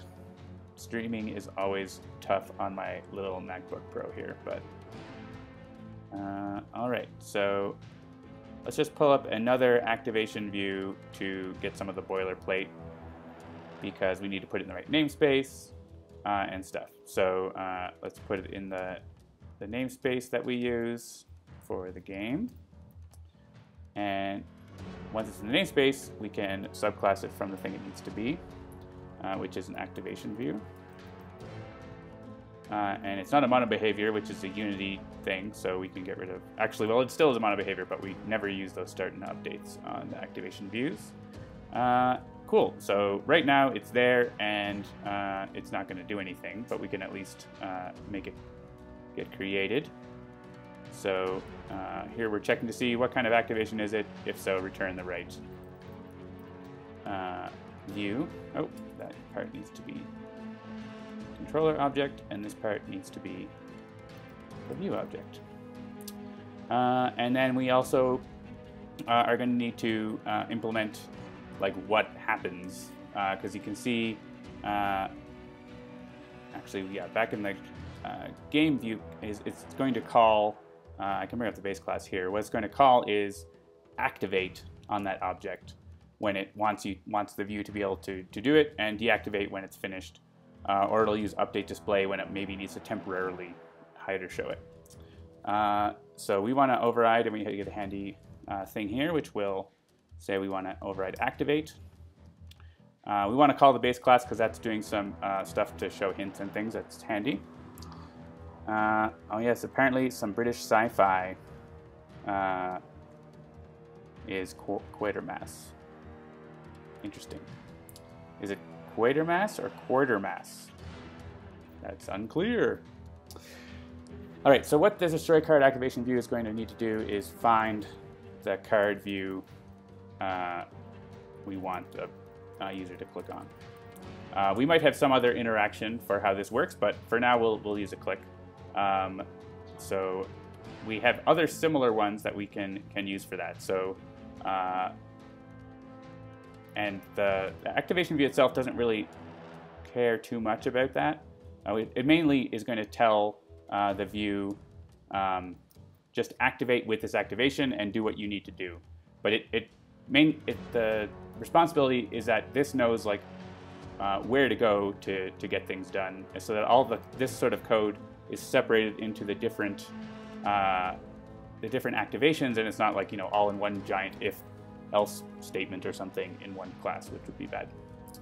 Uh, so I'm just going to paste this code in because it's a fairly similar kind of code, which is finding uh, the card we need. Um, but it, this code is always a little bit different between activations because it might do a little slightly different things. So uh, let's just update this code. It's a little bit of copy pasta, but it's that way because we have slight differences between each one and enough uh, differences that uh, we need to do it a little, a little bit differently. But you'll see in a little bit how we uh, at least reduce the, we minimize the amount of copy pasta. So uh, here we're going to uh, find, game view controller can find the card view. And this important here is that even though the game view controller is like sort of the big, the one big class, there's lots of places that a card view can be. Like it might be uh, anywhere on the screen or in different places. And so this class doesn't really need to know how to do that. Uh, the game view controller can be responsible for helping you find a card. So uh, let's do that. Uh, it's going to be a player card view, um, typically. Uh, I don't think you can destroy any other cards with an activation. So if that changes, we'll update this, uh, but I'm pretty sure that's uh, how it works. Uh, and so what we're going to do here, so here's a little bit of the activation handling in the card view. So for every kind of activation, we hold on to it in a, some local variables so that uh, if we do, are doing something differently for that kind of activation, we have access to that. So uh, I'm going to, uh, this is going to be pretty similar to um, any of these activations really, but uh, let's grab the play card one because that's the one we copied before. And uh, actually, oftentimes we don't actually need all of these, but uh, we have them because uh, it can be useful for specific custom handling for those activations. So uh, saves time in the future. And we'll update these. Uh, these are set to be like private variables that can be accessed with a property from outside in a read-only fashion. Uh, but we want to make sure that we don't serialize them uh, we don't uh, store them in the scene or anything like that. Uh, and here we will have a connection to the activation view that called us, and uh, we will have a completion handler as well. All right, so let's go back down and uh, do, do, do, we'll make another set of methods here that have to do with destroying cards. Um, this is something we might like if we go if we decide that we uh, don't need to have uh, different interactions and stuff for different um, for different activations. Uh, we'll go and clear out refactor some of this stuff so that it's not as much uh, duplication. But for now, because things are fairly early and we're not sure exactly how everything's going to work, uh, we want to keep it uh, flexible. So uh, fairly boilerplate though. Uh, and you can see they all sort of call the same methods that actually do the stuff, so we don't have a lot of duplication of, of stuff besides the actual boilerplate.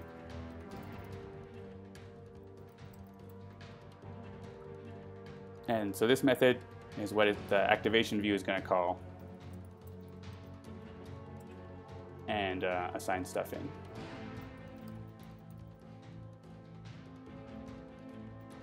Oh, that's the view. That's the activation. Hanging on to stuff. Uh, yeah, potentially some of these things could be like a struct that holds onto these things. That the the problem is that they're all different types, and so uh, and things you can see things work a little differently. So with play card activation, uh, we, are putting it into this uh, a hash set of drag card activations where when we start a drag, we can just look into this hash set and see, is anything in here looking for a drag? If so, uh, we will um, will allow the drag. But we don't want drag for destroy card. It's going to be just click. Uh, but we don't want to add it for when things are looking for a click. So uh, we'll put that in there. So that's an example of how things are a little bit different potentially. Uh, or maybe there's a, another type of um, another type of interaction that's going to be unique to destroy card, like jump up and down? Probably not. I definitely don't like having this code of boilerplate, so this is uh, this is a sort of code smell, uh, if anyone knows that term, but uh, it's something that we'll look more into uh, as we move along. Takewalker says code smell. Uh, yeah, so code smell is a term for developers where if you're working on something and it's like this could be done better or this isn't working right, it's sort of like if you, you know, take the milk out of the fridge and give it a whiff. Is it not quite right? Could it be replaced in a better way? It's not, code smell is stuff that is a kind of thing that it's not a bug, it's not a, necessarily a problem, but it's something that can be better. Like your, the milk can still be fine to use. Maybe you can make pancakes with it, or maybe you can still drink it, but it's not going to be the best. And we'll also do this. And this, I mean, this this is a specifically one where like each method has a thing that could update its display, and they all just call this because maybe one of them will do something different. Um, is sort of the idea, um, but we'll see. Right now they don't do much different, but they might do something different. Uh, cool. And so this up, you can see this update interactions is getting called all the time. And what that is doing is just saying, uh, should I update my highlights uh, uh, and that sort of thing. Uh, and that base class is handling like, you know, can anything click on this? Can anything drag on this? If so, we're gonna uh, highlight it so that we can show those things. And so all those things are calling this thing instead of you know having that code copied, which would be a really bad code smell. We only have a little whiff of like hmm, that can be better, but it's the way it is for a reason right now. So let's get back to uh, we've put everything in player card view that we need, I think. Um, and so and you can see all of this stuff is like uh, a lot of this stuff is happening through uh,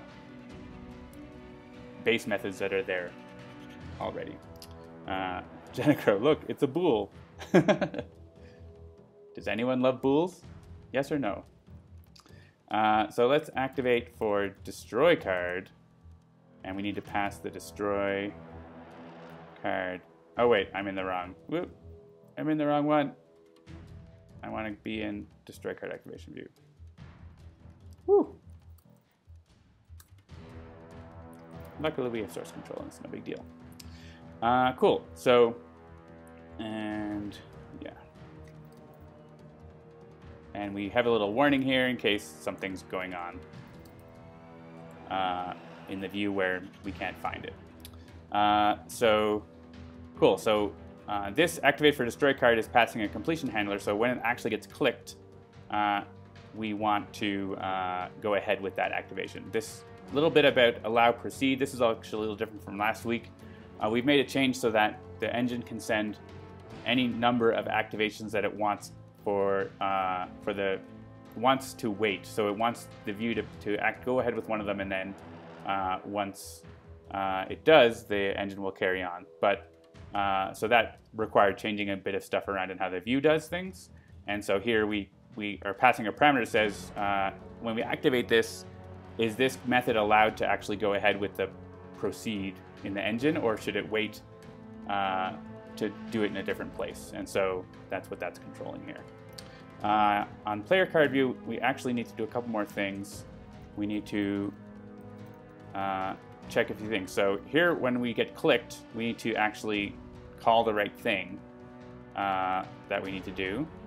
So we're going to do that. This, you can see this is a case where like some of these things do more things. So if you click on a, I'll go through them actually because it's kind of interesting. If you click on a card to play it, something is doing something again. I don't know. Uh, we just go ahead and play the card. If we're discarding, we just go ahead and discard the card. If you click a spell, uh, and it can be used, uh, we want it to go into a breach, but there's some sort of logic around like which breach should it go in. And we talked to Kevin about that, and what we want to do is have it prefer to go in the rightmost open breach so that it gets damage bonuses. Oh, I am frozen. Okay. Let me check OBS. OBS is green. Uh, Evil Monkey says Twitch on your end is screwing up. Well, aha. Uh, all right, I'll just carry on because, yeah, you can catch up on the YouTube if you missed a bit.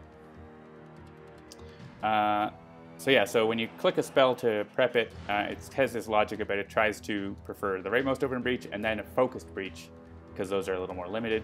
Uh, and this is, you know, more of a, this is something we could potentially have logic in here with like an option that's like what you, what's your play style you'd rather have uh, a clicked spell go into a certain thing. So uh, that's the kind of thing where it's not necessarily engine related, it's more of a view thing where it's a, a view preference.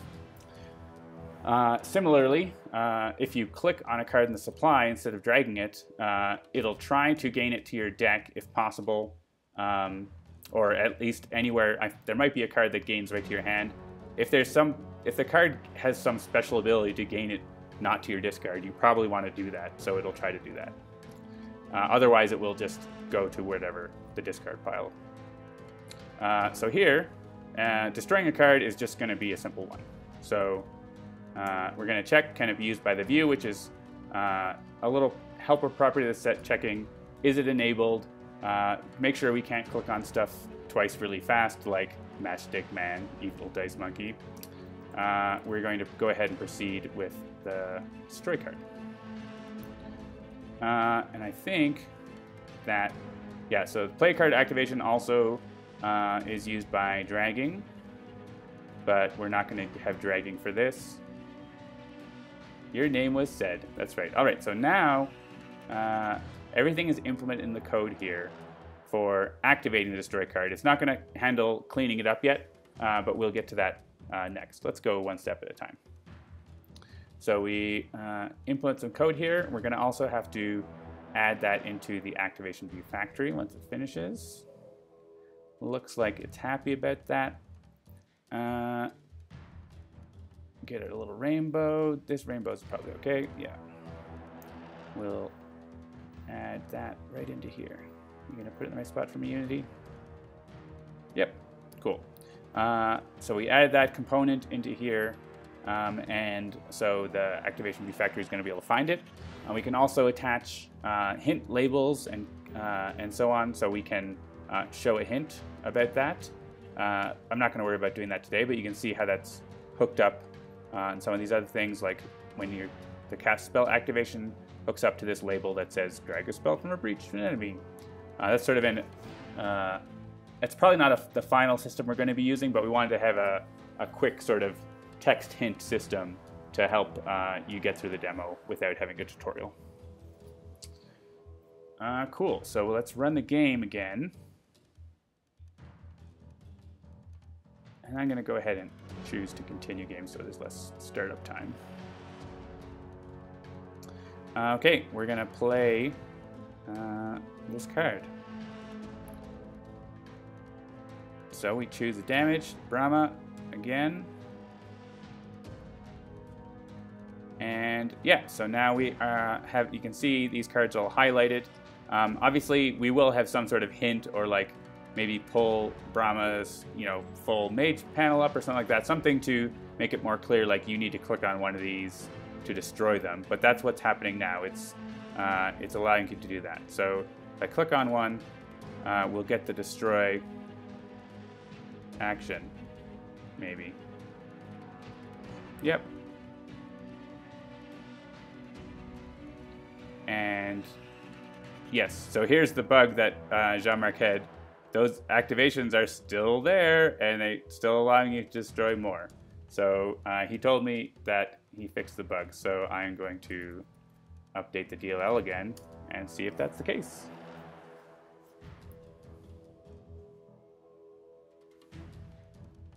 Destroy all your cards. That could be very dangerous, but also very good.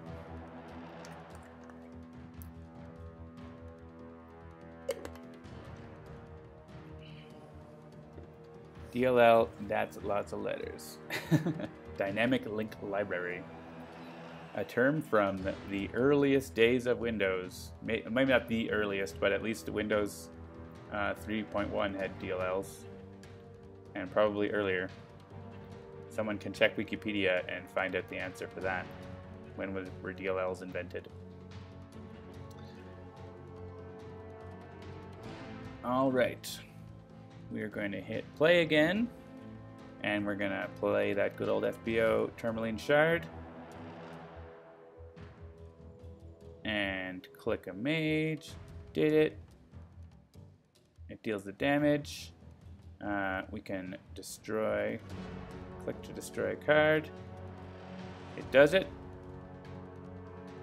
And so uh, everything all came back about uh, playing cards and whatever. You can see these are still flashing. That's because I haven't implemented the view's response to deactivation. Uh, one thing, if Jean-Marc is listening, and I don't know if you noticed, but uh, it's reactivating all of the other activations um, when I'm, or like it's re-enabling them or something. Like whenever I choose the mage, all the other activations are coming back and then leaving again. So that's probably bad. Uh, if they can click on them really fast, uh, they could do something, and that's something that evil dice monkeys are prone to do. Uh, so here we need to uh, just implement uh, deactivating. Uh, so we'll override that. And this function is very similar to the other function where it's finding the card view um, oh. Why unreachable code detected? What? Why is it all...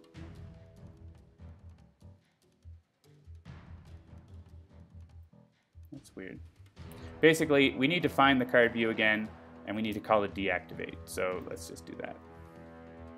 Why is this... Oh, I see, it's returning it. We don't actually want to return that. Uh, we just want to return true at the end. All this is, one, the return value deactivate is not used a whole lot, but occasionally it's used. If you return false, it means keep this activation around for purposes. Uh, otherwise, it will clear it out. So here we just want to say to, for the view to deactivate for destroy card, and that's going to clear out those properties. Um, oh, destroy. Uh, that's going to clear those properties and remove the highlight. Uh, we also want to override the update display. Um, and uh, we, all, we want to do the same thing is tell the view to update the display for this. Uh, so a lot of this is, you know, boilerplatey, but it allows us to do special things for these activations, like to make the uh, destroy card, maybe it's going to do something, you know, maybe it's going to make the view bounce, or maybe it's going to do something else. So there's going to, you know, we want to be able to have different things happen for different activations potentially. Uh, and so we want to have that flexibility uh, here. So let's go ahead and try that and see. Jean-Marc is going to check that out. The bug I mentioned. Yes, uh, Evil Dice Monkey overstuffed the Power pie by clicking quickly, but you can't do that now. I mean, you can still do it in the demo. The demo hasn't been updated uh, because we want to make sure we don't break stuff in it. But uh, yeah. All right, so let's go ahead and try playing this again. This should be, if all goes well, the end of this implementation. So uh, we're gonna click on, we'll click on the last one just to make it more clear that it disappears. So it fades away uh, and we carry on with everything. So great. Then we should be able to play another card, prep a spell by clicking on it and it goes to the right breach and so on. Uh, as you can see things are a little slow, that's because I'm doing the streaming and everything. Uh, so cool. So I'm going to go ahead and commit that because that's uh, a good chunk of work. So I'm going to mention that I updated the DLL, which is a typical small commit.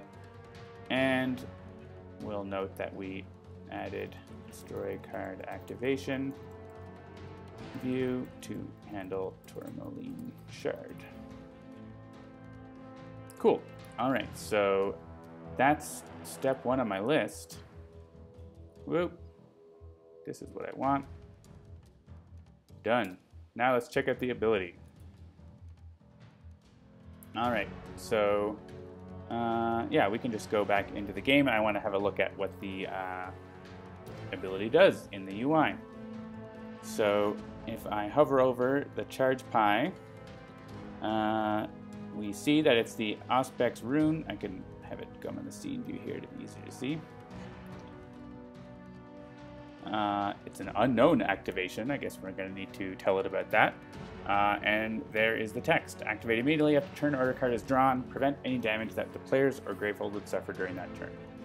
Cool. Uh, well, first we can fix that little text thing. Uh, what that's doing is showing, um, like here, on Brink Siphon, activate during your main phase, or Divine Augury, activate during your main phase, or it might say something else. So there's uh, some that's a programmatic thing that is checking to see like when should this be activated. We should show uh, a different string. So that's going to be on the ability boo boo boo activation view.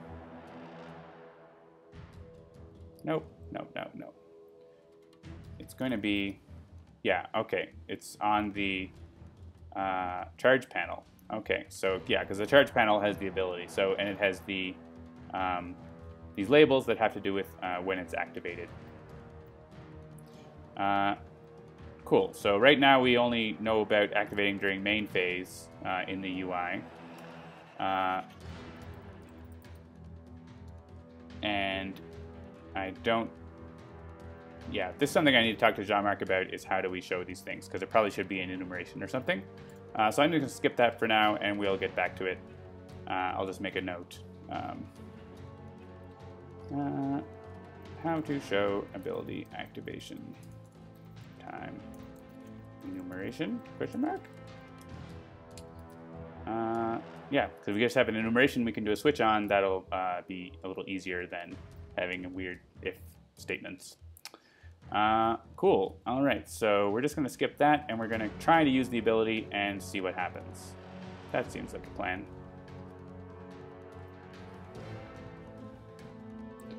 So I already have it set up to start with four charges and enough ether to just go ahead and buy a charge. So I'm going to do that.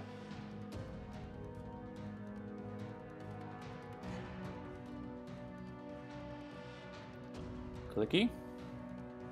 So the pie fills up.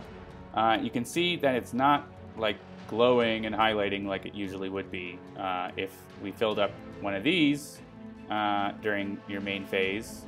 Uh, it would start you know, glowing so you can actually use it right away.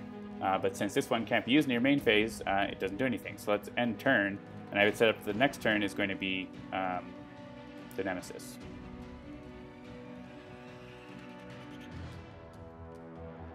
Cool, so now, uh, uh this fairly subtle, but uh, it is glowing now, and we've also got a button that says continue. Uh, and so that's the continue activation that Jean-Marc talked about. Um, and uh, we so you can either click on that or we can click to not use it. Uh, and I'd like to actually have it that say something different. So let's see uh, if we can go to the continue activation and have it say something a little differently. So continue activation view, it's going to close other things that I don't need right now. Um, right, so there's different continue reasons. So uh, the default, the button's just going to say continue. Maybe we'll have it say skip, uh, something like that. But there could be different reasons. This is similar to what I was just talking about. We have an enumeration of what are the reasons we might be continuing. Maybe we're finished casting spells, or we want to indicate that you're finished casting spells, so that's the button text. Or if you're finished your main phase, we want to say end turn. Uh, let's see if we've got a continue reason. Uh, finished using abilities. I guess that's what it's going to be. Uh, and the text will be, I think, uh, don't use ability. Because that's, at that point, that's really what it means, is you don't want to use your ability. Um, or it could be like skip ability, which sounds too much like one word, one weird word. But we can try skip ability, that might fit better in the button. Another thing here, if we continue the game, this is going to be a test of does the does loading the game here work? we'll see. But we should see the continue button have the different string on it if it does. Yep, so now it says skip ability. And, uh, you know, one thing uh, we'll do, uh, I'm planning similar to One Deck Dungeon, where if there's sort of a subtle interaction that needs your attention, it'll dim the whole rest of the screen. So I'll show, I don't, don't have that in here yet, but I'll show you what it would look like. Um, yeah, we'll put, uh, we'll just throw something on here. We'll put on a panel and we'll ignore layout. Nice thing about Unity is you can just do this kind of thing at runtime and play around. So, you know, we can put uh, like a black uh, 75% or 50% or something like that to dim everything else.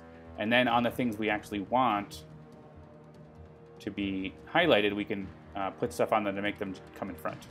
So uh, we want the charge parent, charge panel. We can put a canvas on that with an override, and, and it's going to pop in front. So you can see uh, that. And let's go just do the continue button too. I think just to uh, where's the continue button?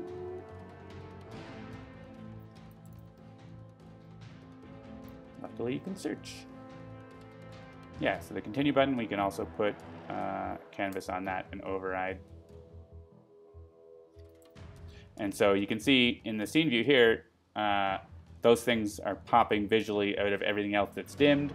You know, probably will have the continue button highlight as well. Right now it's not. Uh, and, you know, potentially some, some text that's like, uh, do whatever.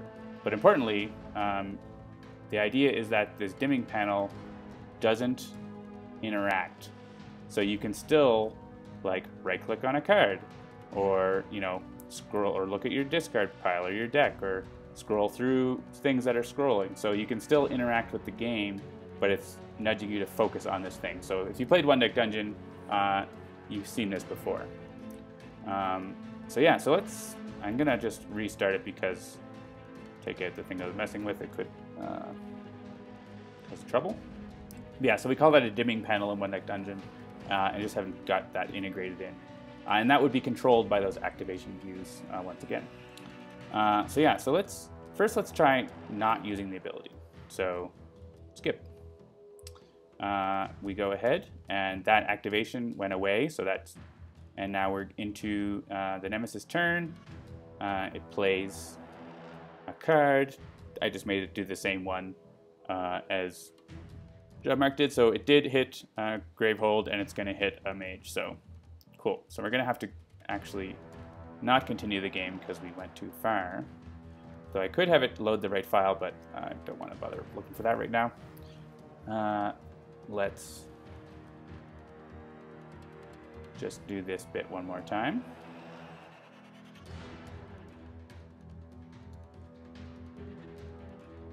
Any questions in the chat, feel free to ask.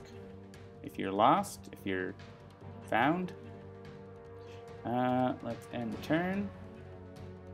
I'm going to click continue game again to make sure I don't forget. All right, so here we are again at the uh, turn order phase. And actually one thing we're planning to, to improve or add here is, right now it sort of subtly flips the turn order thing, but it's gonna like show that more, like it's gonna zoom it up and like flip it over dramatically and be like, Nemesis, you know, not in a way that interrupts the game too much, but makes it more obvious what's going on uh, which is important because there's a lot going on in Aeon's End. So we are going to use the ability uh, and do it. So we use the charges up, they went away, the continue goes away, uh, and the turn goes ahead. So that's so far so good. We also might have some sort of something to indicate that the ability is in effect. Right now we don't have that. Uh, so hey, so here uh, Rageborn tries to deal damage, and we get an error because we don't have anything that's showing this cancel action uh, that's being used here. Um, and so uh, this is the action that Jean-Marc talked about that there is a damage action, but uh, it's being interrupted by a cancel action. And so the view needs to be able to handle that. Even if it doesn't, even if the view doesn't actually do anything on an action, it needs to, uh, I have this error in here to make sure we don't miss something. So, so just like we added an activation view, we're gonna add a game action view for that. And it might not do anything, but at least we need to have it. So we might have it do something like maybe there's like a spell gets sent towards the thing and then it like gets dispelled or something, right? So there's there's always an opportunity to do stuff is is why we have uh, this mechanism. Uh, so let's similar to the activation view, we're gonna create this cancel action view. Uh, we're going to load, yep, load everything. We're gonna get this namespace and we're going to do that. And it's going to indent for us. Come on. Maybe it's not. Fine, don't. Didn't even want that. Uh, game action view. Yeah, it's just decided to stop doing code formatting. Uh, all right, so uh, so that's a game action view. We're gonna we have again similar. We have uh, game action view factory, uh, and so we'll put this one in here too.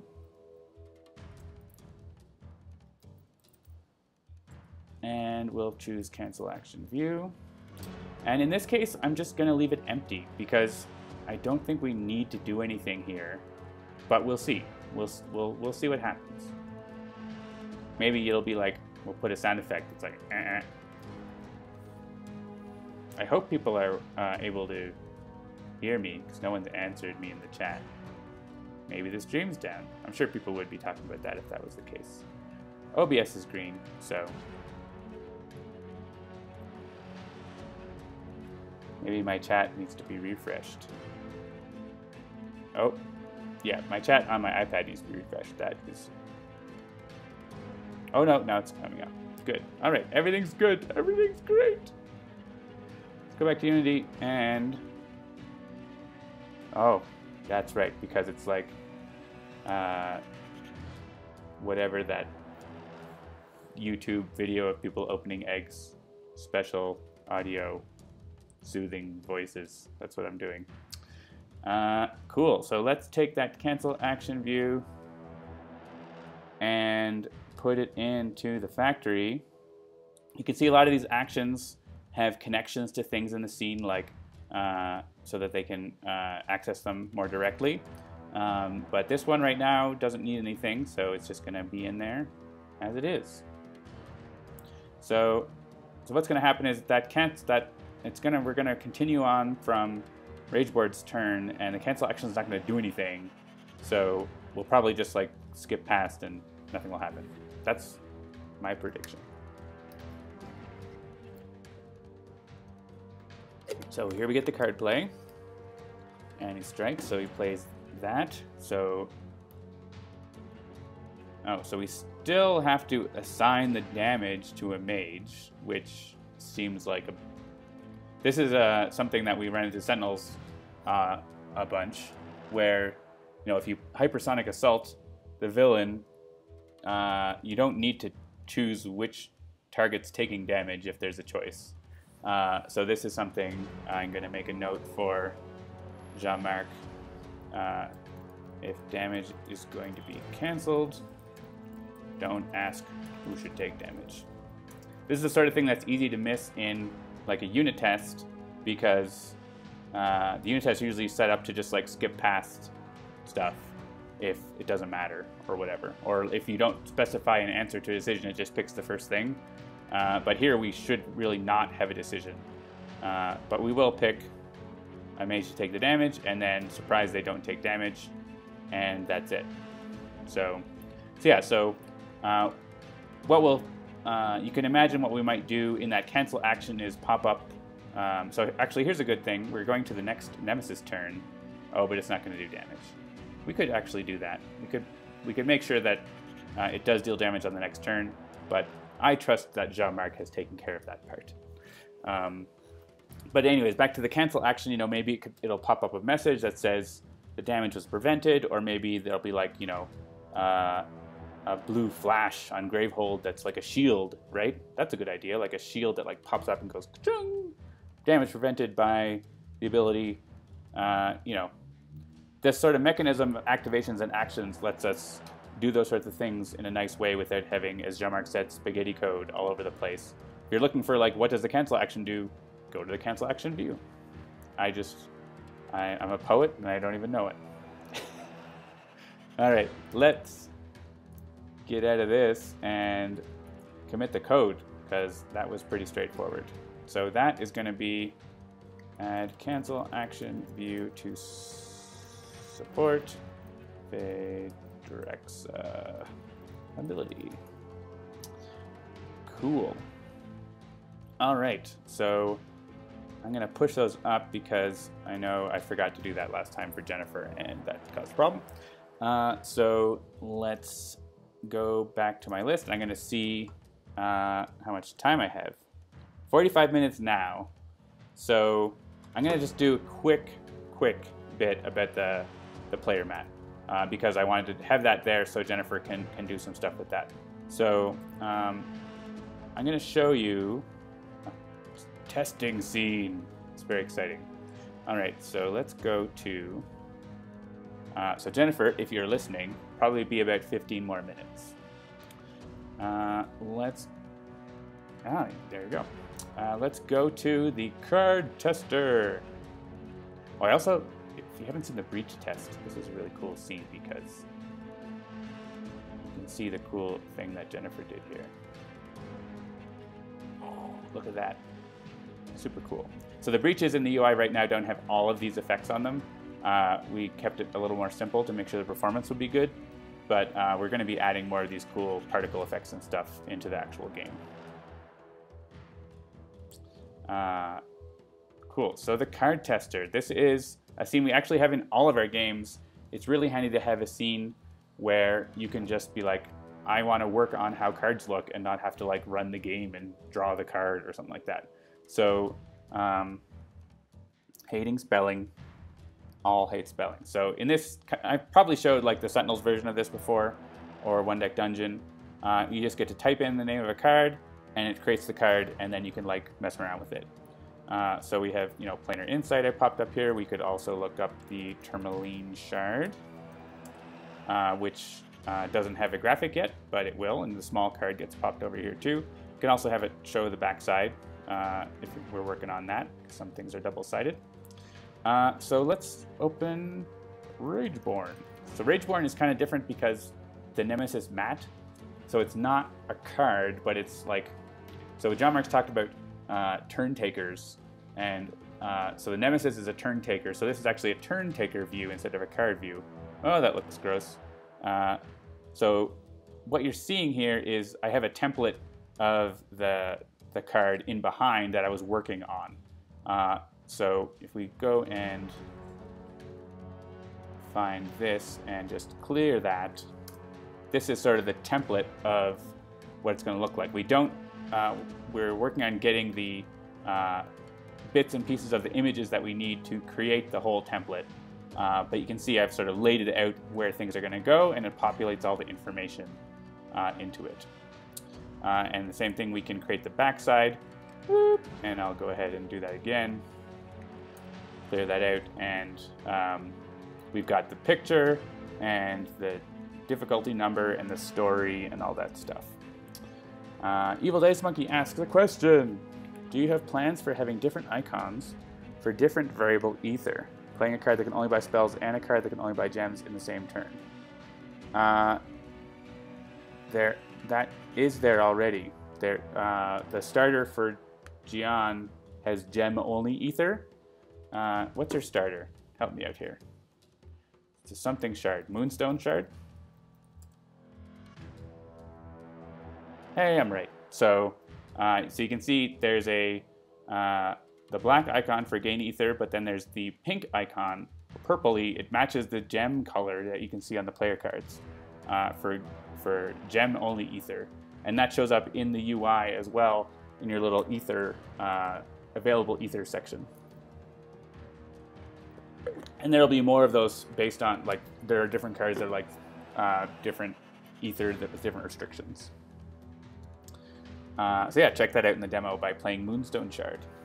Uh, cool, so I just wanted to show you Rageborn there as an example of a turn taker having a, a mat or card. And so what I'm going to do is uh, set up a mage mat um, for that. And I think I should have, I didn't prepare as much for this as I should have. Uh, let me pull up Let's see if I have this in my preview. Whoop. Yeah, this one. So here's a player mat, and I'm gonna just like export one of these as a JPEG that I can use as a uh, layout helper. Don't mind that image that says butts. I, wouldn't, I have no idea what that is. Uh, sample uh, mage mat. And let's go find that.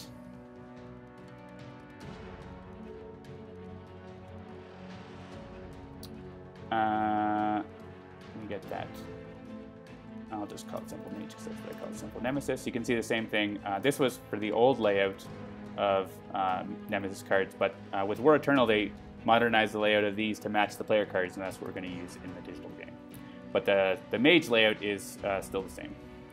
So I need to drop this onto, actually what I can do is go to the project in Finder,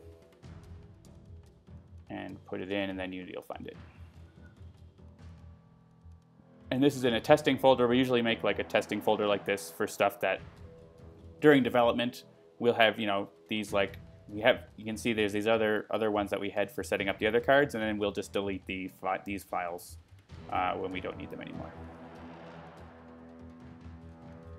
Take Walker saw the image that says butts. I don't even remember what that is. I don't want to click on it though.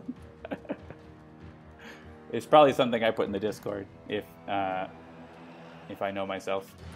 Uh, so now we have the sample mage uh, in here, and so let's go ahead and create. Uh, I think for it, I'm just going to create from scratch. So let's create an image, uh, and we're going to call this a mage mat front. And uh, I'm going to base the dimensions off of the player cards. So the player cards are set up to be uh, a certain size. They're set up to be 500 by 700. That's in the context of a 1024 by 768 screen. But that's sort of the, the default resolution we work in, and then it expands based on your uh, screen size. So even though it says, "Ooh, sweet thunder," uh, it's just thunderstorming out now. Uh, it's once it, if you you know if your screen is like 1920 uh, by 1080, the actual, you know, all this is going to get scaled, uh, but still look nice. Uh, so that's 500 by 700 for the uh, Nemesis mat. It's a little bit wider, so it's 523 by 700. I think we still want to, for the Mage mat is actually landscape. So we don't probably want to have it fill the screen because it might not fit on a 4 by 3 aspect ratio that we want to support. But we can see, so let's, if it's 700 high, and let's give it like a nice juicy color. Uh, let's look at this image, uh, get the aspect ratio of it. 1244 divided by 929. Oh, it's like almost exactly 4 by 3. Uh, so if we take that, and one of the nice, if you don't if you only use Unity, you might not know that you can actually type in math in fields. So I can do 700 times that. And that like fills the screen, which might be fine. Well, yeah, I don't want it to be that big. So let's multiply. I could just do a scale here, but I'd rather like have the like, you know, legit thing be the thing that I want. Let's make this 600 high, and we'll make this 600 times that.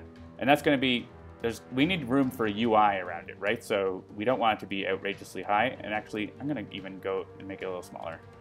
Uh, 500 times that. And we can always adjust. But I want, I want, you know, with the mage mat, you're going to want potentially to have like some buttons to show like show your deck and show your discard and see your breaches and all kinds of stuff. So, uh, so we're going to want, uh, want that yeah, hopefully the thunderstorm doesn't knock out the internet connection or anything.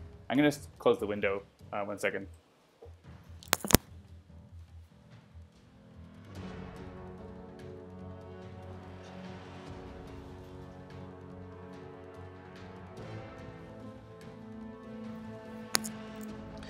Good thing I did, because the rain is coming down at about 45 degrees.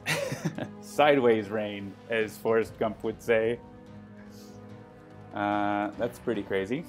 All right, so let's grab our sample mage image and pop it in here. See how I'm doing for time here. Yeah, five more minutes I think to get it ready enough for Jennifer is good. So, uh, so here's our sample mage layout. Uh, and what I'm gonna do is set up a few things to, uh, to populate it. And then Jennifer is going to like make it cooler.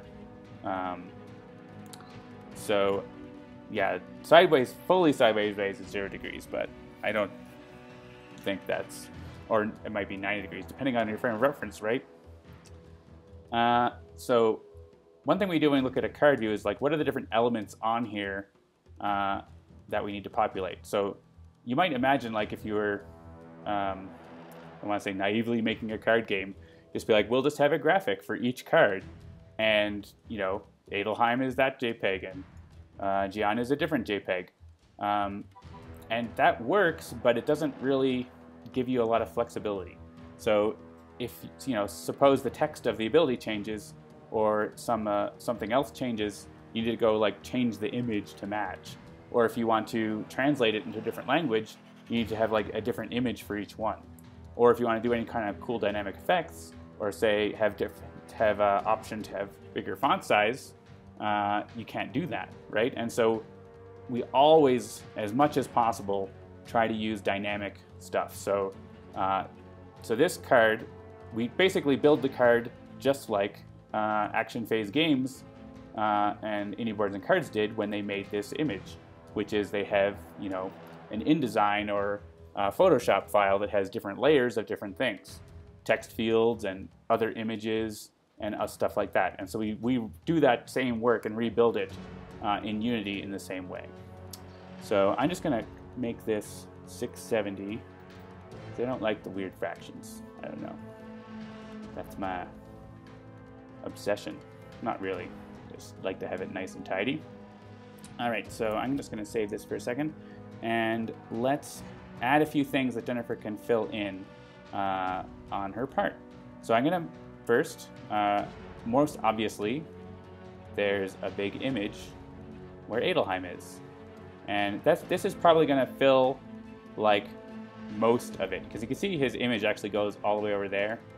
Uh, if this is the size of this is going to depend on like which mage has the biggest area, uh, and we want to use these anchors in Unity. So in the U Unity UI system, you can anchor stuff around, and I'm going to say, you know, this is going to be based on probably the entire thing and then just offset some from the right by like 100. Uh, or and we can we can make this a little bit see-through. Uh, so we'll. I feel like Adelheim's probably like one of the more the most going across the images. Uh, but so let's go with that, and we'll see you know how that works out. Uh, and Jennifer will, you know, change this size and make it exactly as needed. And then so each of these images for the mages can just be as big as it needs to be and will be put in this spot. All right, so, and we'll call this the, the main image because that's going to be the image that's like, that's the Adelheim image. Like that's what makes this uh, mage mat different from the other ones uh, from an image perspective. Uh, and I'm going to go ahead and add, oh, I don't have a nemesis, I don't have a component yet, but let's put the bits in and then at least a few of the bits and then I'll make the component. So actually no, mage view, is, it's just a mage view, so uh, the mage view. Uh, this component is actually, this control is going to be the same, configured by the same code that shows the mage on the game view. So we share that code. We're just uh, using this component which knows, you know, if I have a, an image, then I'm going to fill it with the mage. And I'm just going to throw in uh, an atlas here that's going to be the wrong one, but uh, it's at least going to uh, show something. Because it's probably going to be a slightly different image. Uh, we, you know, have different crops and different zoom ins of stuff based on what uh, place they're going. Uh, we're going to want, uh, let's see, so we're going to want a, a, a, text label for their name. That's pretty obvious and uh, we can put that over here. Uh, we want to use that same font, and that font is the Fritz Quadrata. And one thing I like to do is, I'm just going to hide that other thing because it's distracting. Uh, I can put the same text in it for now and then match it up. So we get like, I, it doesn't have to be exactly, exactly the same, but I like to have it be similar, right? So uh, let's put this down here, and that's using the small caps. And our font is a little big.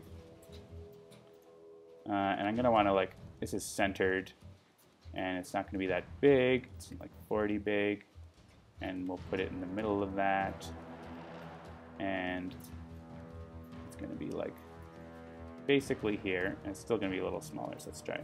Well, 30 is pretty close. We get the A lined up. That's pretty good. I feel like his name isn't actually centered on this like line, and we're gonna want to do that. So I'm just gonna center it on the line. We can always move it. Uh, and let's put this at 134 and 163. That looks good. Uh, and uh, again, this is going to be, right now, the default anchor is just like based off the center, but this is a piece that's really tied to like the right-hand side. So uh, we're going to tie it into the right-hand side like that. And so it's uh, minus 100 off the left and minus 67 on the top. We could also like, this whole thing could be potentially uh, encapsulated in like a, a parent object uh, but I'm not going to bother doing that right now. So we have the name label. Uh, what else? I'm to put like some of these things, and actually I'm to mention this. Uh, some of these things aren't to be necessarily needed in the game. Like the player number is something we don't actually use in the digital version because the player number has to do with the turn order deck in the physical game having you know numbers and you assign them and you have a number to the mage in the in the turn order deck. But in the in the video game, you can just we can just put the picture of the mage on the card dynamically every time. So that's not a big deal. Uh, similarly, we we aren't using the charge tokens like this. We're using um, a Pi, uh, and so we're going to be using that as well. Uh, so I'm just going to all I'm going to do I think right now is put the name and put the life, and that's going to be that's going to be it. So uh, because I know uh, I'm going a little uh, late, and I want to make sure that Jennifer isn't feeling rushed or anything like that. So I'm going to put a little box here for where the life is going to go, and I'm going to make it like a nice pink. And we're going to put a label in it. And there's some images for this that I'm sure Jennifer will put in. Uh, and I'll put a text in it. For a text like this that's inside a box, I usually like make it fill the box. And for HP, we typically use this Gotham Black, which is like big, heavy numbers. And they always start at 10, so that's handy. And we'll inset this a little bit and make everything center.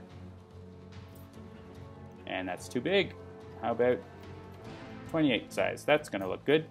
So there's our life label. Oh, life label. Cool. So that's looking good. Uh, I do need to hook this up. Uh, so let's uh, hook up the name label and the life label. All right, so that's all I want to do right now because I want to, there's a couple more things I have to hook up to make it work. Uh, so let's make the, the main image, we'll make that show up.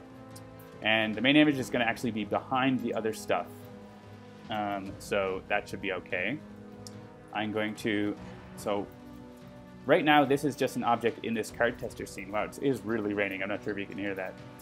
Uh, we need to save it as a prefab so we can load it dynamically. So I'm going to drag this right into the project, and that creates a prefab.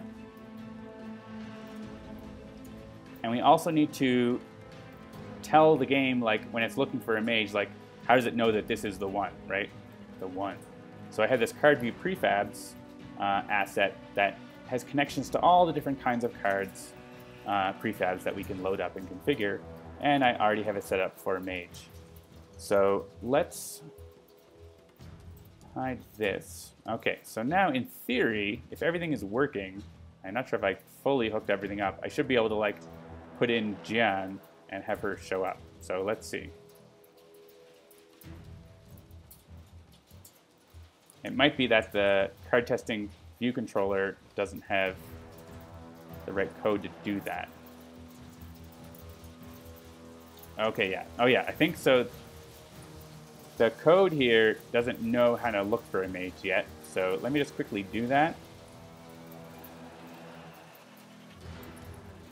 Uh, I might not explain this as much. Uh, basically, we're going to be we're looking for uh, when we put in that that text, we're looking for uh, first we're looking for the player card, then we're looking for a nemesis card. Now look for nemesis itself. Uh, how about we also look for a player card? Get play get mage definition that is. All right, and now I think, yeah, so if it's a Nemesis card definition, do that. There's this, blah, blah, blah. So I think, actually, this should just work now. Because I already have it set up to look for Rageborn, and the Mage is basically similar. Alright, so let's run this and see if we can find Jian. If so, that's going to be the end. So if you have any questions, uh, put them in there, and I'll try to answer them. Alright, let's type Jian. No. Oh. What? Oh, I see. There's an exception. Because it's trying to look for the nemesis and it considers it to be an exception. Hang on, let me run this again. Oh, but since an exception, it like kicks out. That, this shouldn't be an exception. It should just like return null. Uh, let me just wrap this up in try catch. This is like super hacky for now. Just like ignore the exception.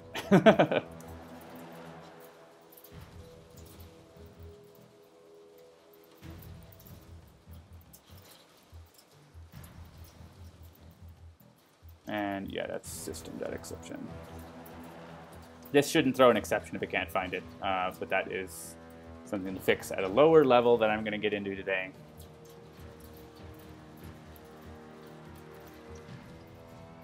Anyone getting picture lag? It might be the case that the internet is thunderstorming the internet. This looks really cool, the alt tab thing. Anyway, let's get back to Unity and finish this up. If Unity will come back. Uh, that doesn't look good. Well, let's see. It's just compiling, I think.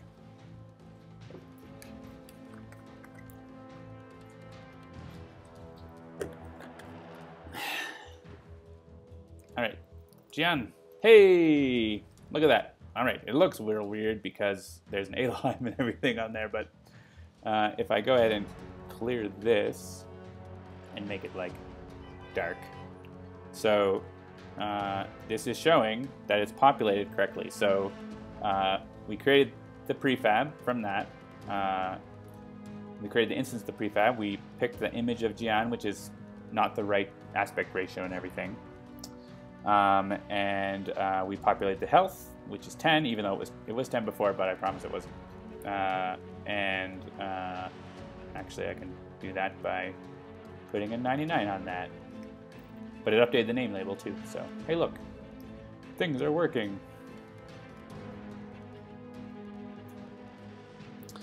Richard, sorry we've taken up all the stream watching time, but you can catch Jennifer's portion on the YouTube. So yeah, so here we loaded Jian, and uh, it did update to 10, even though I had 99 in the other thing. So, so that is ready for Jennifer to, uh, you know, at least like get some images in there and maybe tidy it up a little bit. Uh, and we'll continue to work on that. Uh, but that's sort of the very first steps of having a, a mage mat in the game. So hope you enjoyed that. I'm gonna make sure to push that code up for Jennifer. Uh, add initial support for full mage mat. All right, looks like we don't have a lot of questions except about the picture lag, but hopefully Jennifer's will be better. Uh, I'm going to sign off here in a second. Just make sure this pushes up. And uh, Jennifer is going to come on and do more of the integration of uh, Phaedraxa, get getting her images in there and looking good, as well as having a look at that full mage mat. So uh, thanks for watching once again, and uh, we will talk to you soon. Ciao.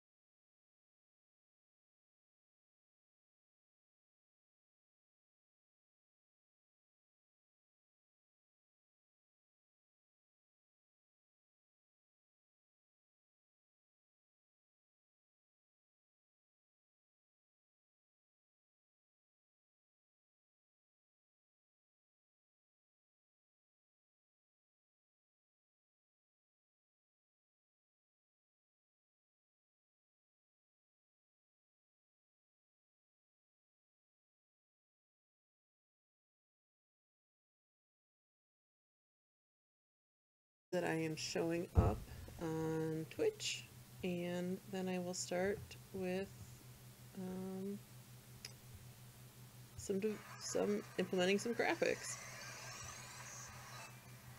So, um, if you're just joining now, um, we just had a great developer streams from Jean-Marc and John, and uh, implemented Tourmaline Shard and Phaedraxa, and started working on um, mage mats. So I will be um, going through, I will be adding in the graphics for those things.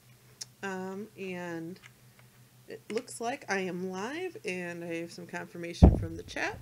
So, all right. So the first thing that I will do is, um, well, so I'll show, I have my uh, test configuration set up with tourmaline shard in my hand and as you can see it is missing some artwork. So I'm going to go ahead and put that in. And you might remember from last week all the art's going to go into atlases. And let's see small card art player art.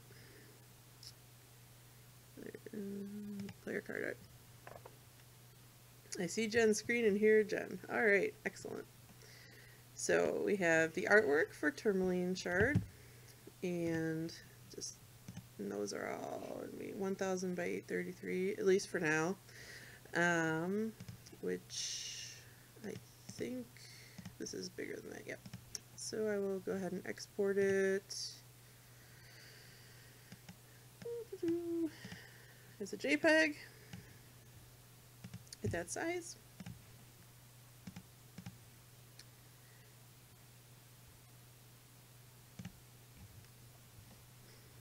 And um, in case you missed the explanation last week about what atlases do, is atlases do. I clicked on the wrong thing. Um, is they put multiple images into the same image to make um, the game run a little more more efficiently and use less resources. All right. yeah the, those are some pretty pretty good expressions. And hopefully there was no loud noise just now because um, I not capturing the audio. Let me just make sure that I yep I have it recording also. Um, so we got to go deep into the Aeon's End folder there was a loud noise. Alright, thank you for letting me know, Jean-Marc. It should not be... Okay. Alright, I guess I didn't have it completely muted. Um, Alright.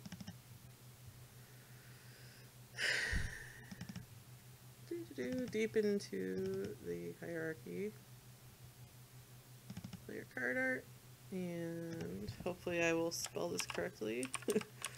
Tourmaline Shard.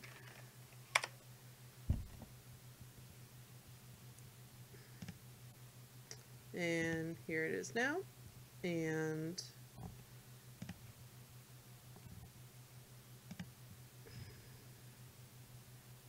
preview.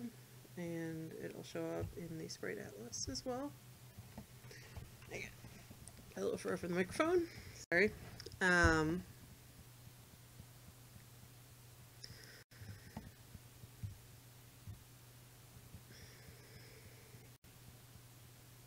come on, Sprite Atlas. Do your thing.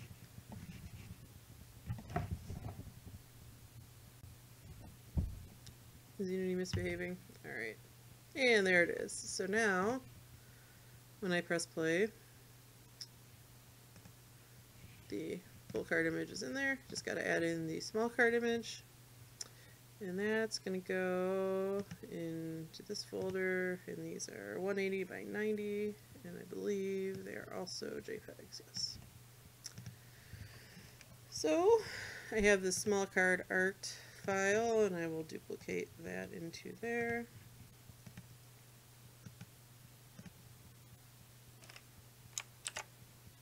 Oh, let me get, let me pause this. Don't want it sucking up my bandwidth while I'm streaming. And now I just need to make this work with the um, crop for the small card art. And I'll zoom out a little bit.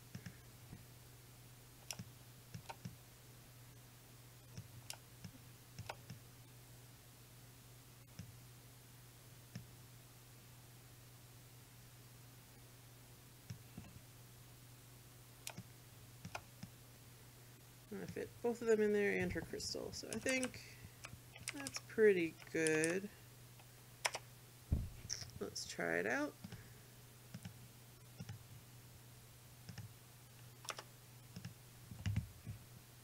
We don't want JPEG low, we want JPEG maximum. Of course.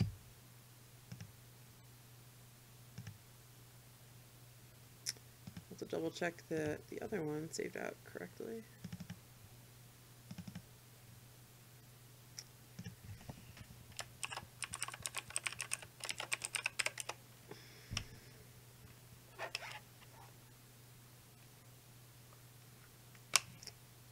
Yeah, I'll mute also. Um, let me resave this one, make sure that, because I want it to be high quality, not low.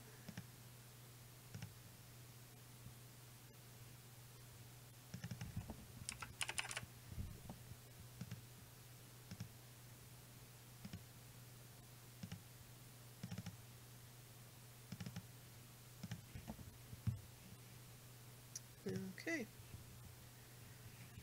And packing two atlases now, so it'll take twice as long to pack them. I don't know. I guess I have a lot of stuff running right now. Um, I'll probably close some of these things.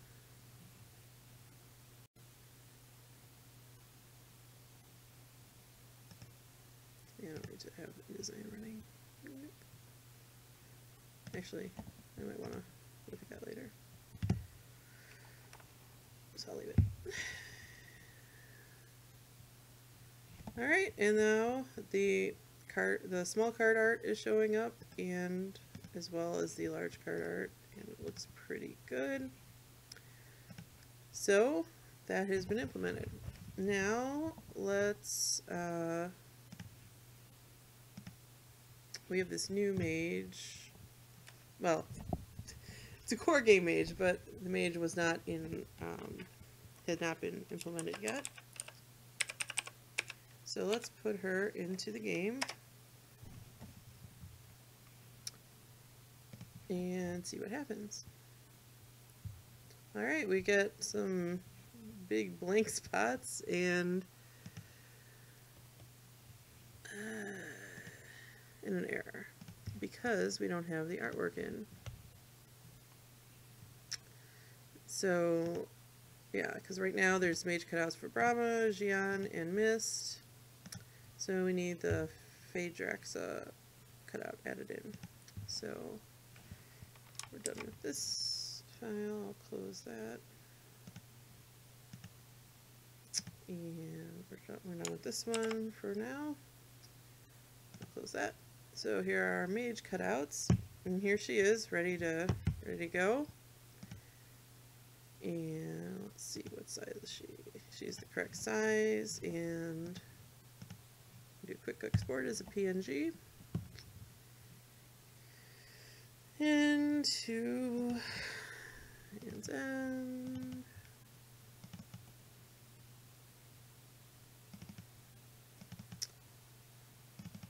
and this is going to go in the mage cutouts folder. And hopefully I will spell her name correctly as well.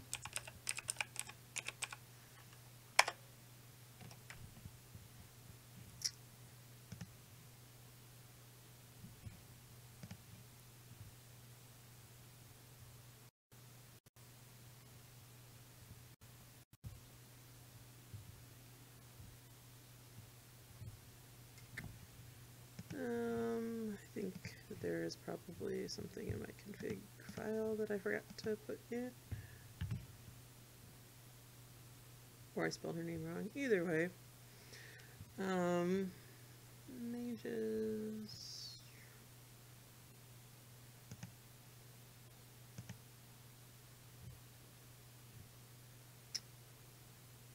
She looks alright. It looks alright in here.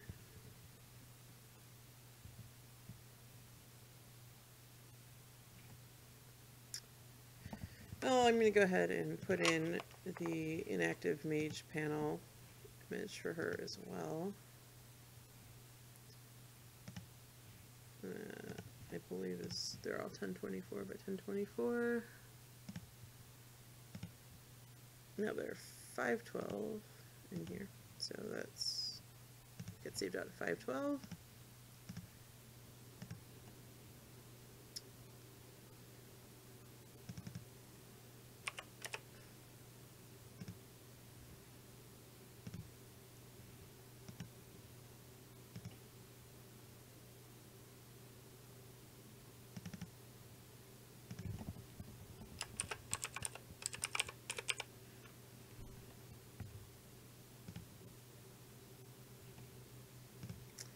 Alright, so now make sure she is in the atlases, yeah, the atlas for the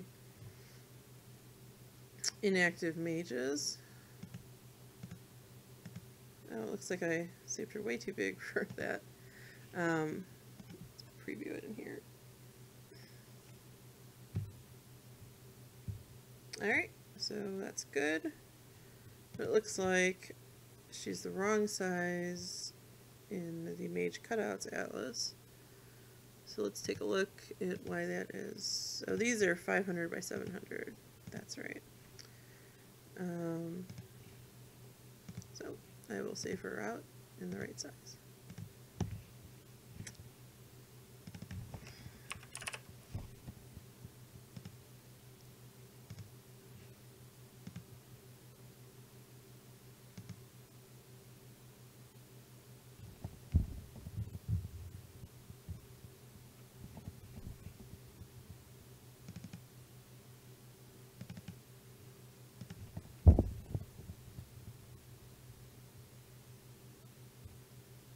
And I'm just double checking this name. I believe I spelled correctly.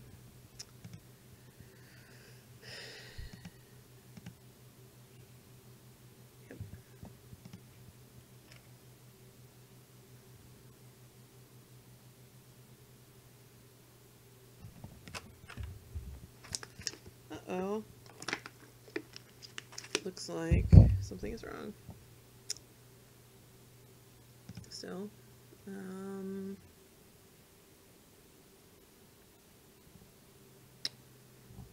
I don't know, but I know that her artwork is in in there. So both in the inactive mages panel atlas and in the mage cutouts atlas. Um,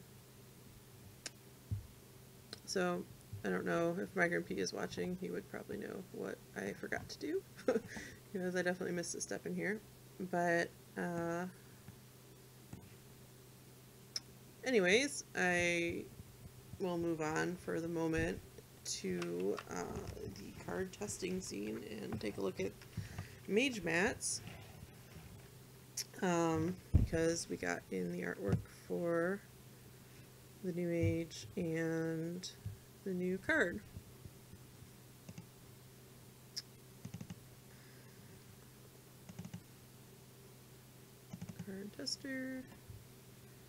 No, I don't want to save my changes. And there's Rageborn looking all crazy. So let's see. So it looks like that is the current state of the mage mats and there is some work to do. Alright, so I'll go ahead and mage mat front is in here. So if we um, let's see these all right if I turn off the image on here and then I press play we can see what it's currently looking like and guess I need to turn it off while it's running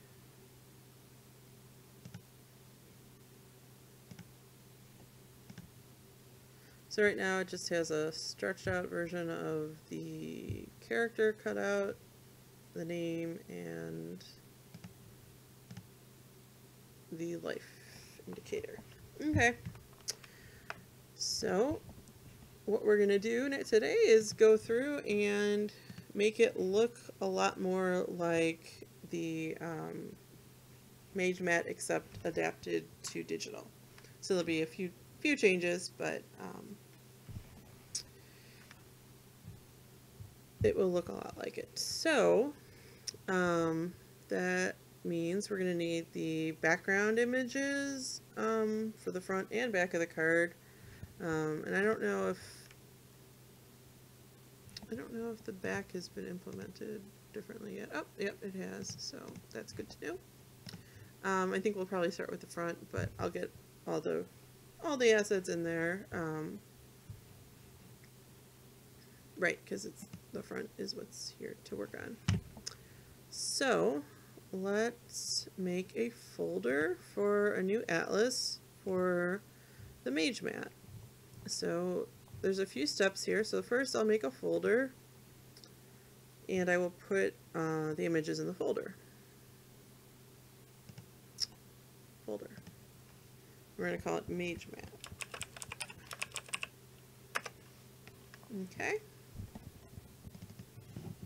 So we need the um, the character images that are cropped to the size of the, um, the mage mats and the mage mat backgrounds as well as all of the little um, all of the images and icons and whatnot um, as well. So um, a lot of those things are already in the game. They're being used in other places and um, but if we need them, I'll pull. I can pull them out of the InDesign file, um, which is what I why I left it open. Let's go back to Photoshop. We got our our mage cutout put in the game. We got our inactive mage cutout put in the game. So now we will get our mage mat cutouts put into the game. And right now I've kept them at the same um, the same size as the backgrounds.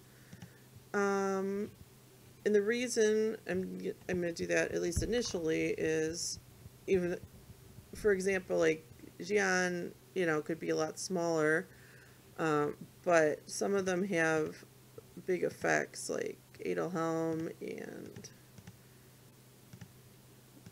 Phaedraxa, you know, her, her glow is going to fill up the screen and I'll show you what that looks like since it's not in this file. Um,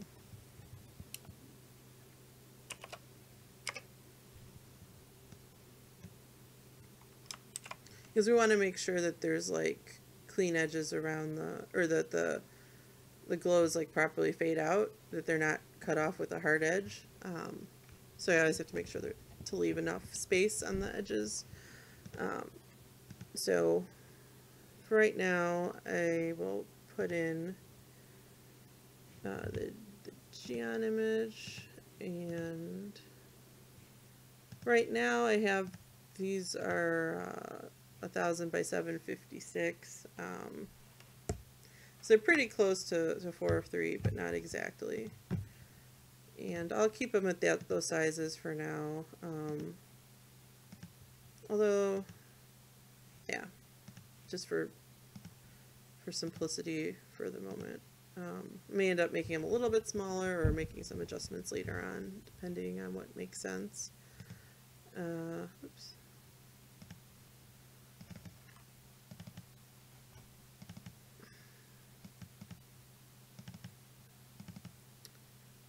This Mage Mat image, Atlas, and we'll put John in here. And I'm going to put in the other mages that have been implemented as well. So that would be Brama.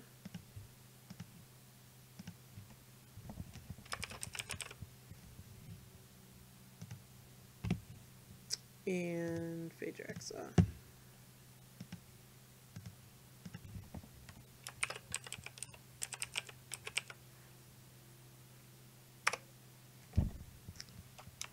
Okay, and then there's the um, the front card image and then the crop for the back, which same image but moved up. And I think if we wanted to match as closely as we can with the physical cards, it makes sense to have them separate images. Um,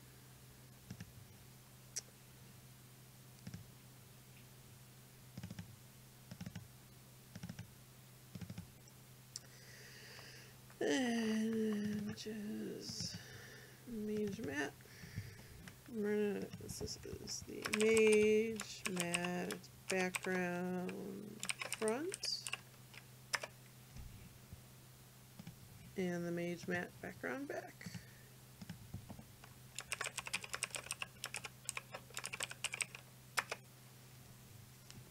Alright, so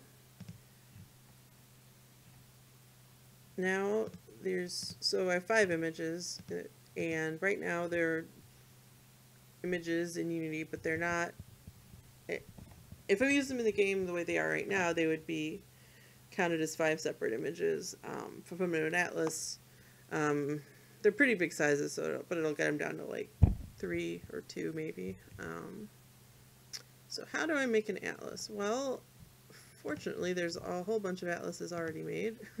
So I can just duplicate um, one that's already there and um, and then point it at the correct folder. So I'll uh, I'll do that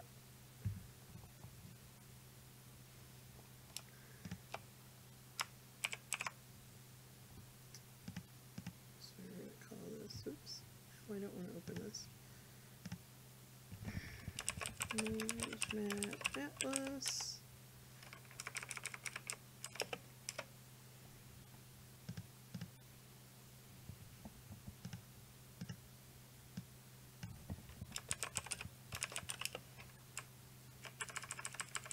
Make sure I get the name correct. Alright. Now, back in Unity, there should be a Mage Mat Atlas but it's still pointing to the small turn order folder. So I'm gonna drag the mage mat folder over into there. Um, there's a few different options in here. Uh, right now it's not doing tight padding, packing. Um, so let's see what that looks like and I'll probably try it again with tight packing to see if it makes it more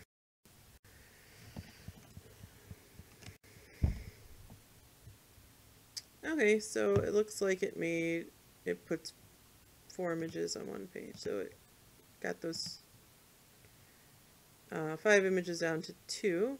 Um, and then the second one is a smaller smaller size. Um, let's see if I do tight packing, if that makes a difference.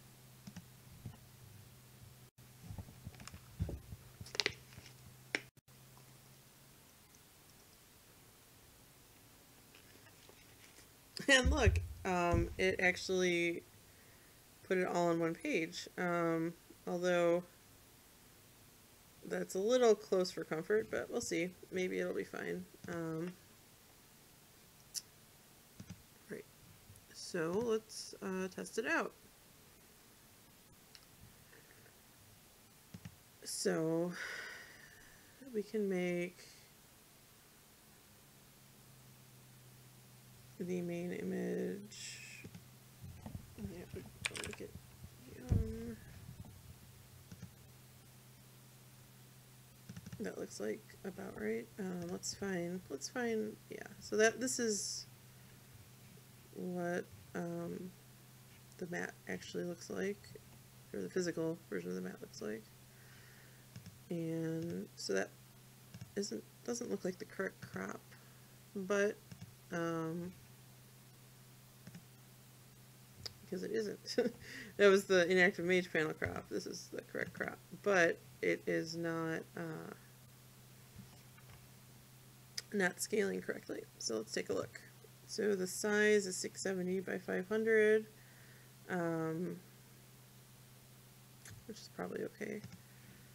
But we want this to stretch across the whole thing.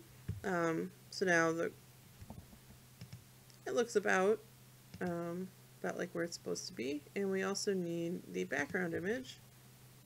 So I'll turn back this on. This I will turn the background image back on and put it in. So it'll be the mage mat background front. And it looks like our mage is transparent. So we'll make our mage be not transparent. Alright, so that's already uh, starting to look like um, a mage mat. And I don't, and so we can, if we go ahead and apply that, um, press play, it'll,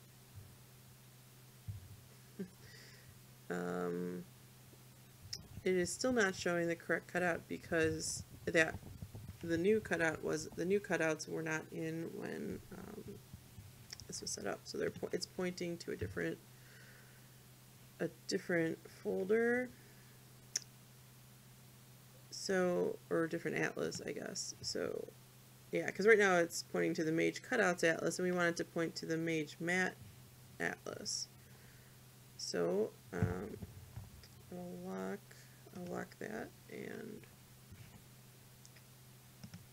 here is our Mage Mat atlas, and I'll drag that into here where the mage cutout atlas was. So now, if I press play, it is still doing that. Why is it doing that?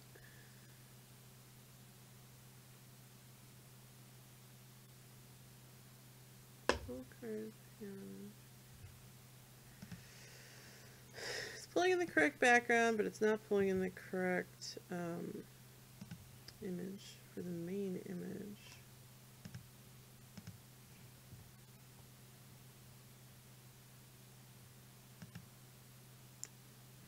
Main image. Now why is it doing Mage Mat Atlas? I wonder if I forgot to press apply.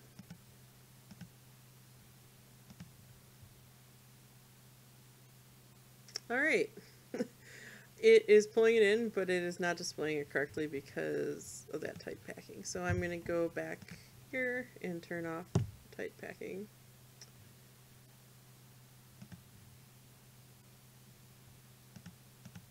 She'll put it back on another page, but it'll show up. It should show up right. Yep.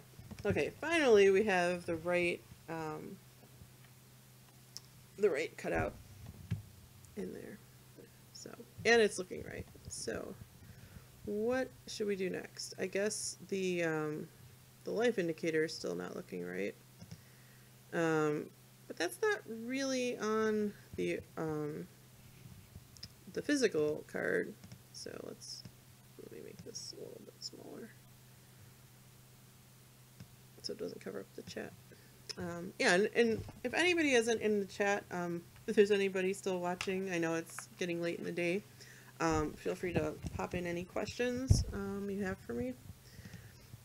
So I guess I will update that life indicator to look like it does in other places in the game. Uh, in the actually, let's go to the just for in case you haven't seen it before um, or you're just joining the stream now. I will go back um, to the game view. Yes, Migrant P is telling me to use the same blood drop thing we use in the game view, which is what I was planning to do. Um, and so it looks, you know, like this and that. So it's got the, the image, this image of HP with the HP label on it, and that's using the Gotham Black beveled font. So we'll go back to our testing scene. Back to our mage mat front. Alright, so Alright, so our life indicator right now is has no image in it. So we're going to put the HP image in there. And it's kind of cool in bright red, but I think we want it to match um, how it looks in other places, so I'll, I won't tint it to make it extra red. And we'll change the label to use the Gotham Black bevel material. And it looks like we should probably make this blood drop a little bit bigger. Um, I forgot to check the size in the other scene, but I know it, it looked bigger than this. Um, so right now it's 50 by 50, I think. We'll try maybe like 70 by 70. Not 700, although that would make things more interesting. So yeah, that's. we can make the label slightly bigger too. Maybe 30. Alright. And it's a little bit high. It's centered, but I'm going to move it down just a little bit. Um, yeah. Alright, so that's looking it's looking about right. Um, I don't know if that's where we're going to want to place it exactly, but yes it is because that's where the life label would be. Never mind. Um, okay, so what about our character name? Yep, that looks right. Alright, and there we go. Um, one thing we could do is, let me think. Um, yeah. Oh, I can test this out. So I will apply it and press play. And make sure that this card is working with other characters. Yep, there we go. It does seem like the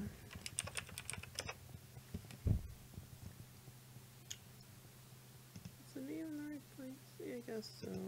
Yeah, because there'll be the other other pieces. Um, they haven't been added in yet.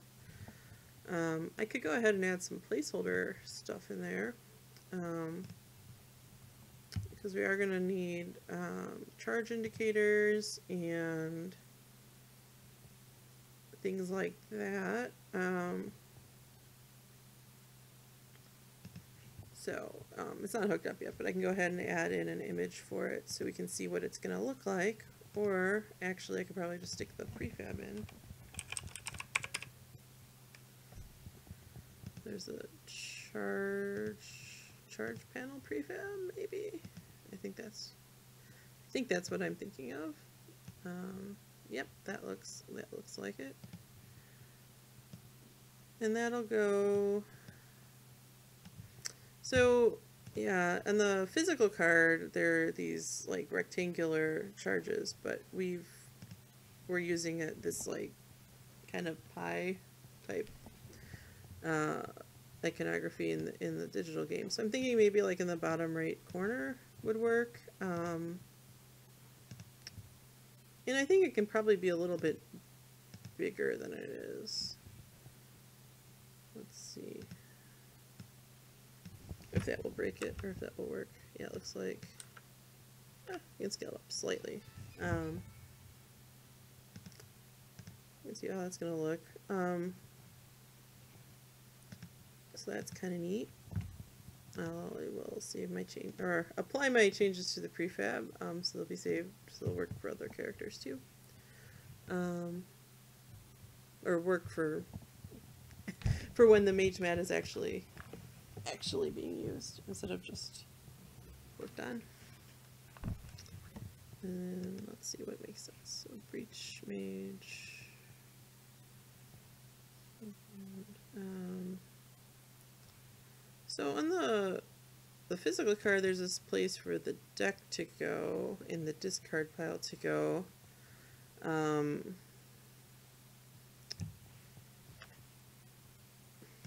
thank you, thank you, Migrant P. um, yeah, it's it's starting to look look a lot like we're gonna want it to look. Um, yeah, these purple the purple thingies. Um, I don't know if we're gonna want them on the mage mat or not, but I did make uh, one.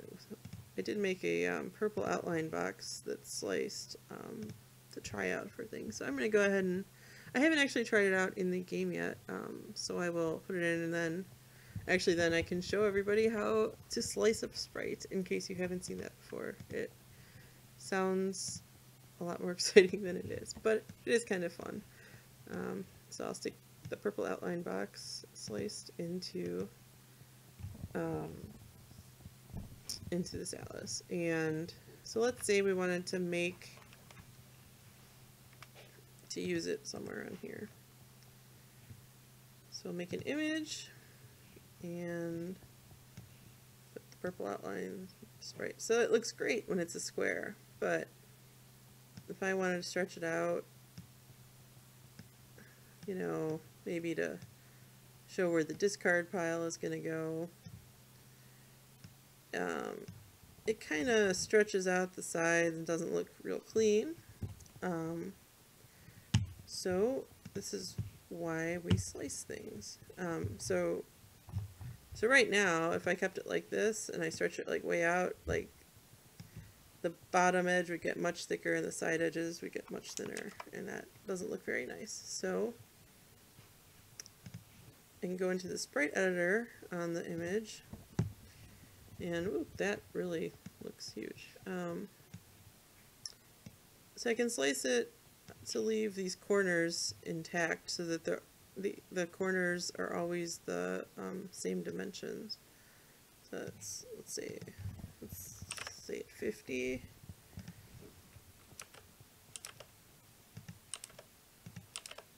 And we'll try it. I think that I think that should work.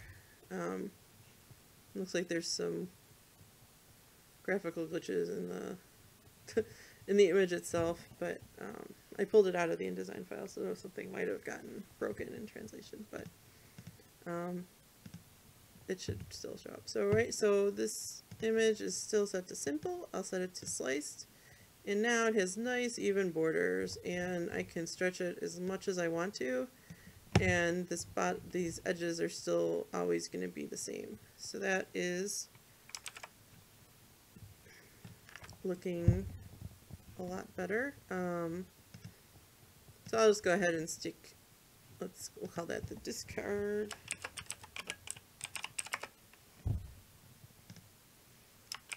And the deck. Maybe the deck should be listed before the discard, I don't know.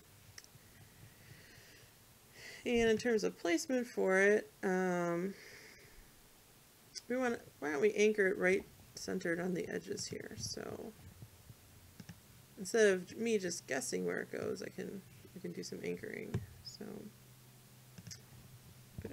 zero, zero, and yeah, we'll do 150 by 200. That sounds good. And position zero, so that's perfectly centered on the left edge, and we'll discard, we'll center on the right edge.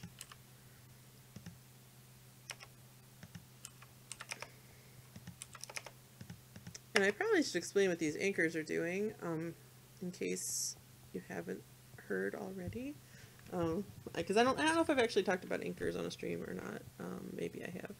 So the um, so the x is you know horizontal, the y is vertical. So like if I said zero to one, and then if I and then the numbers in left and right are how far they are from each edge. So if it was zero, it would be all the way to the left side. Um, and you can see as you move the placement around, it, it kind of, those numbers change and how those numbers change, but I'll put it back where I put it, and um, I think that's that's probably a good good place for that for now. Um, oops, I meant to press apply.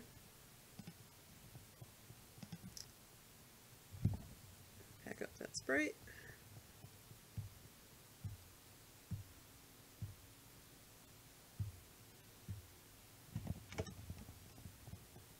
So yeah, I think that it's definitely heading in the right direction. Um, you know, we'll continue working on it to get it more polished. I think it kind of seems like there should be some like shadows in the edges. I don't know if there are in the original one. Yeah, it looks like a little bit. Um, can we can kind of we can kind of do that here, can't we?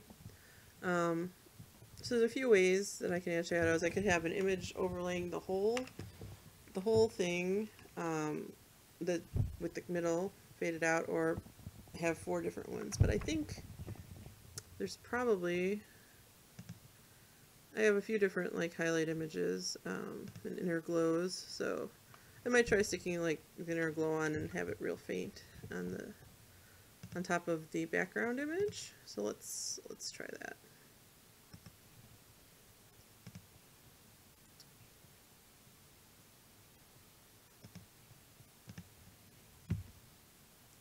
And let's see. I think it's it's probably still too opaque in the middle, but and then we can anchor it to the whole thing. So right now, like 0.5 puts it in the it means it's anchoring to the middle of the parent object, which is the mage mat front. Um, and these blue these blue circles um, indicate the edges of the the thing that's being selected in case um, that wasn't obvious, which I don't know that it was. Um, yeah, so zero, zero, zero, zero. And you'll say, well, wait a minute. That looks like it's making it brighter, not darker, because it is set to white. Alright, and I can put this probably behind the main image, so it's only darkening the background, and it's way too dark. Um, I can lighten it up. Make it just a little bit. Or, another thing I could do is we could take this into Photoshop.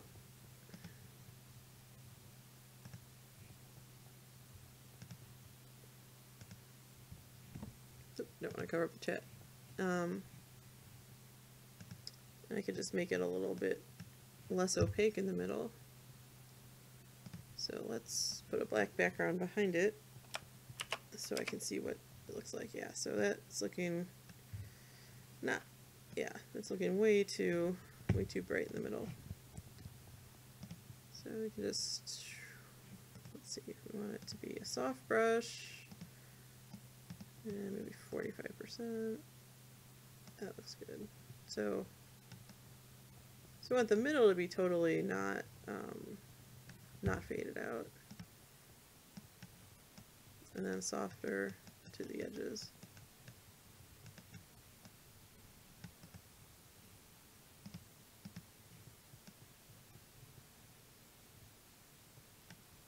Just wanted a little bit of like a border around it was kind of what I was thinking.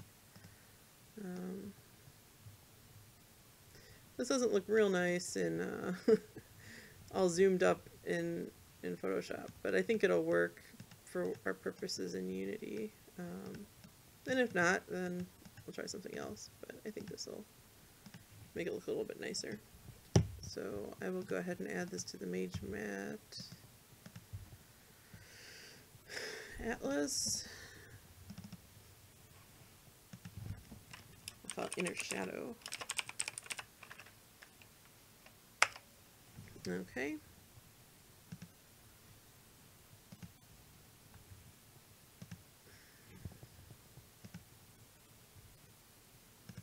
Yeah, that works a little. bit, That works much better. Um, it probably still doesn't need to be 100%. I'll make it. It just most of the way there. So I think that is. Um, it's heading in a good direction. I think for how we want the um, mage mat front to look. I don't know about these purple things, but I think I'll put them there as placeholders for now, just so remember that we need to put something in those spots. So I will go ahead and apply it, my changes, and it looks like it is pretty close to 4.30 um, Eastern time now, so that seems like a good stopping point. Um, so I'll just take a look at this and see how it looks with other characters. And our new character that we just put in. I haven't tried her cutout out. Oh, I just broke it, so I guess something must have gotten missed when I pulled earlier. Um, so that is where the mage mat is. So that's um, where it's at for today. Um, thank you for joining me. Uh, if no one has any questions, um, I will just say thank you for joining. And um, if you missed any earlier parts of the stream, they'll all be up on YouTube. And um, I think they'll probably be on Twitch right after the stream ends. And let's take a quick look at how the Kickstarter is doing. So let's refresh this page, make sure it's good. So right now it's at 21,846 out of our $30,000 goal. Um, so if you haven't backed it yet, check it out. And yes, I agree with uh, Migrant P's comment that it's not set up to load Phaedraxa properly yet. Um, based on the fact that she's not loading it properly. But yep, and there and John just posted a link in the chat to our Kickstarter if you haven't already checked it out. Um, on the Kickstarter page, there's a, a, demo you can play right in your web browser um, if you want to get a feel for how the game is playing. Um, and yeah, I think that's about it for today. And I will um, say thank you and good night. And I'll sign off.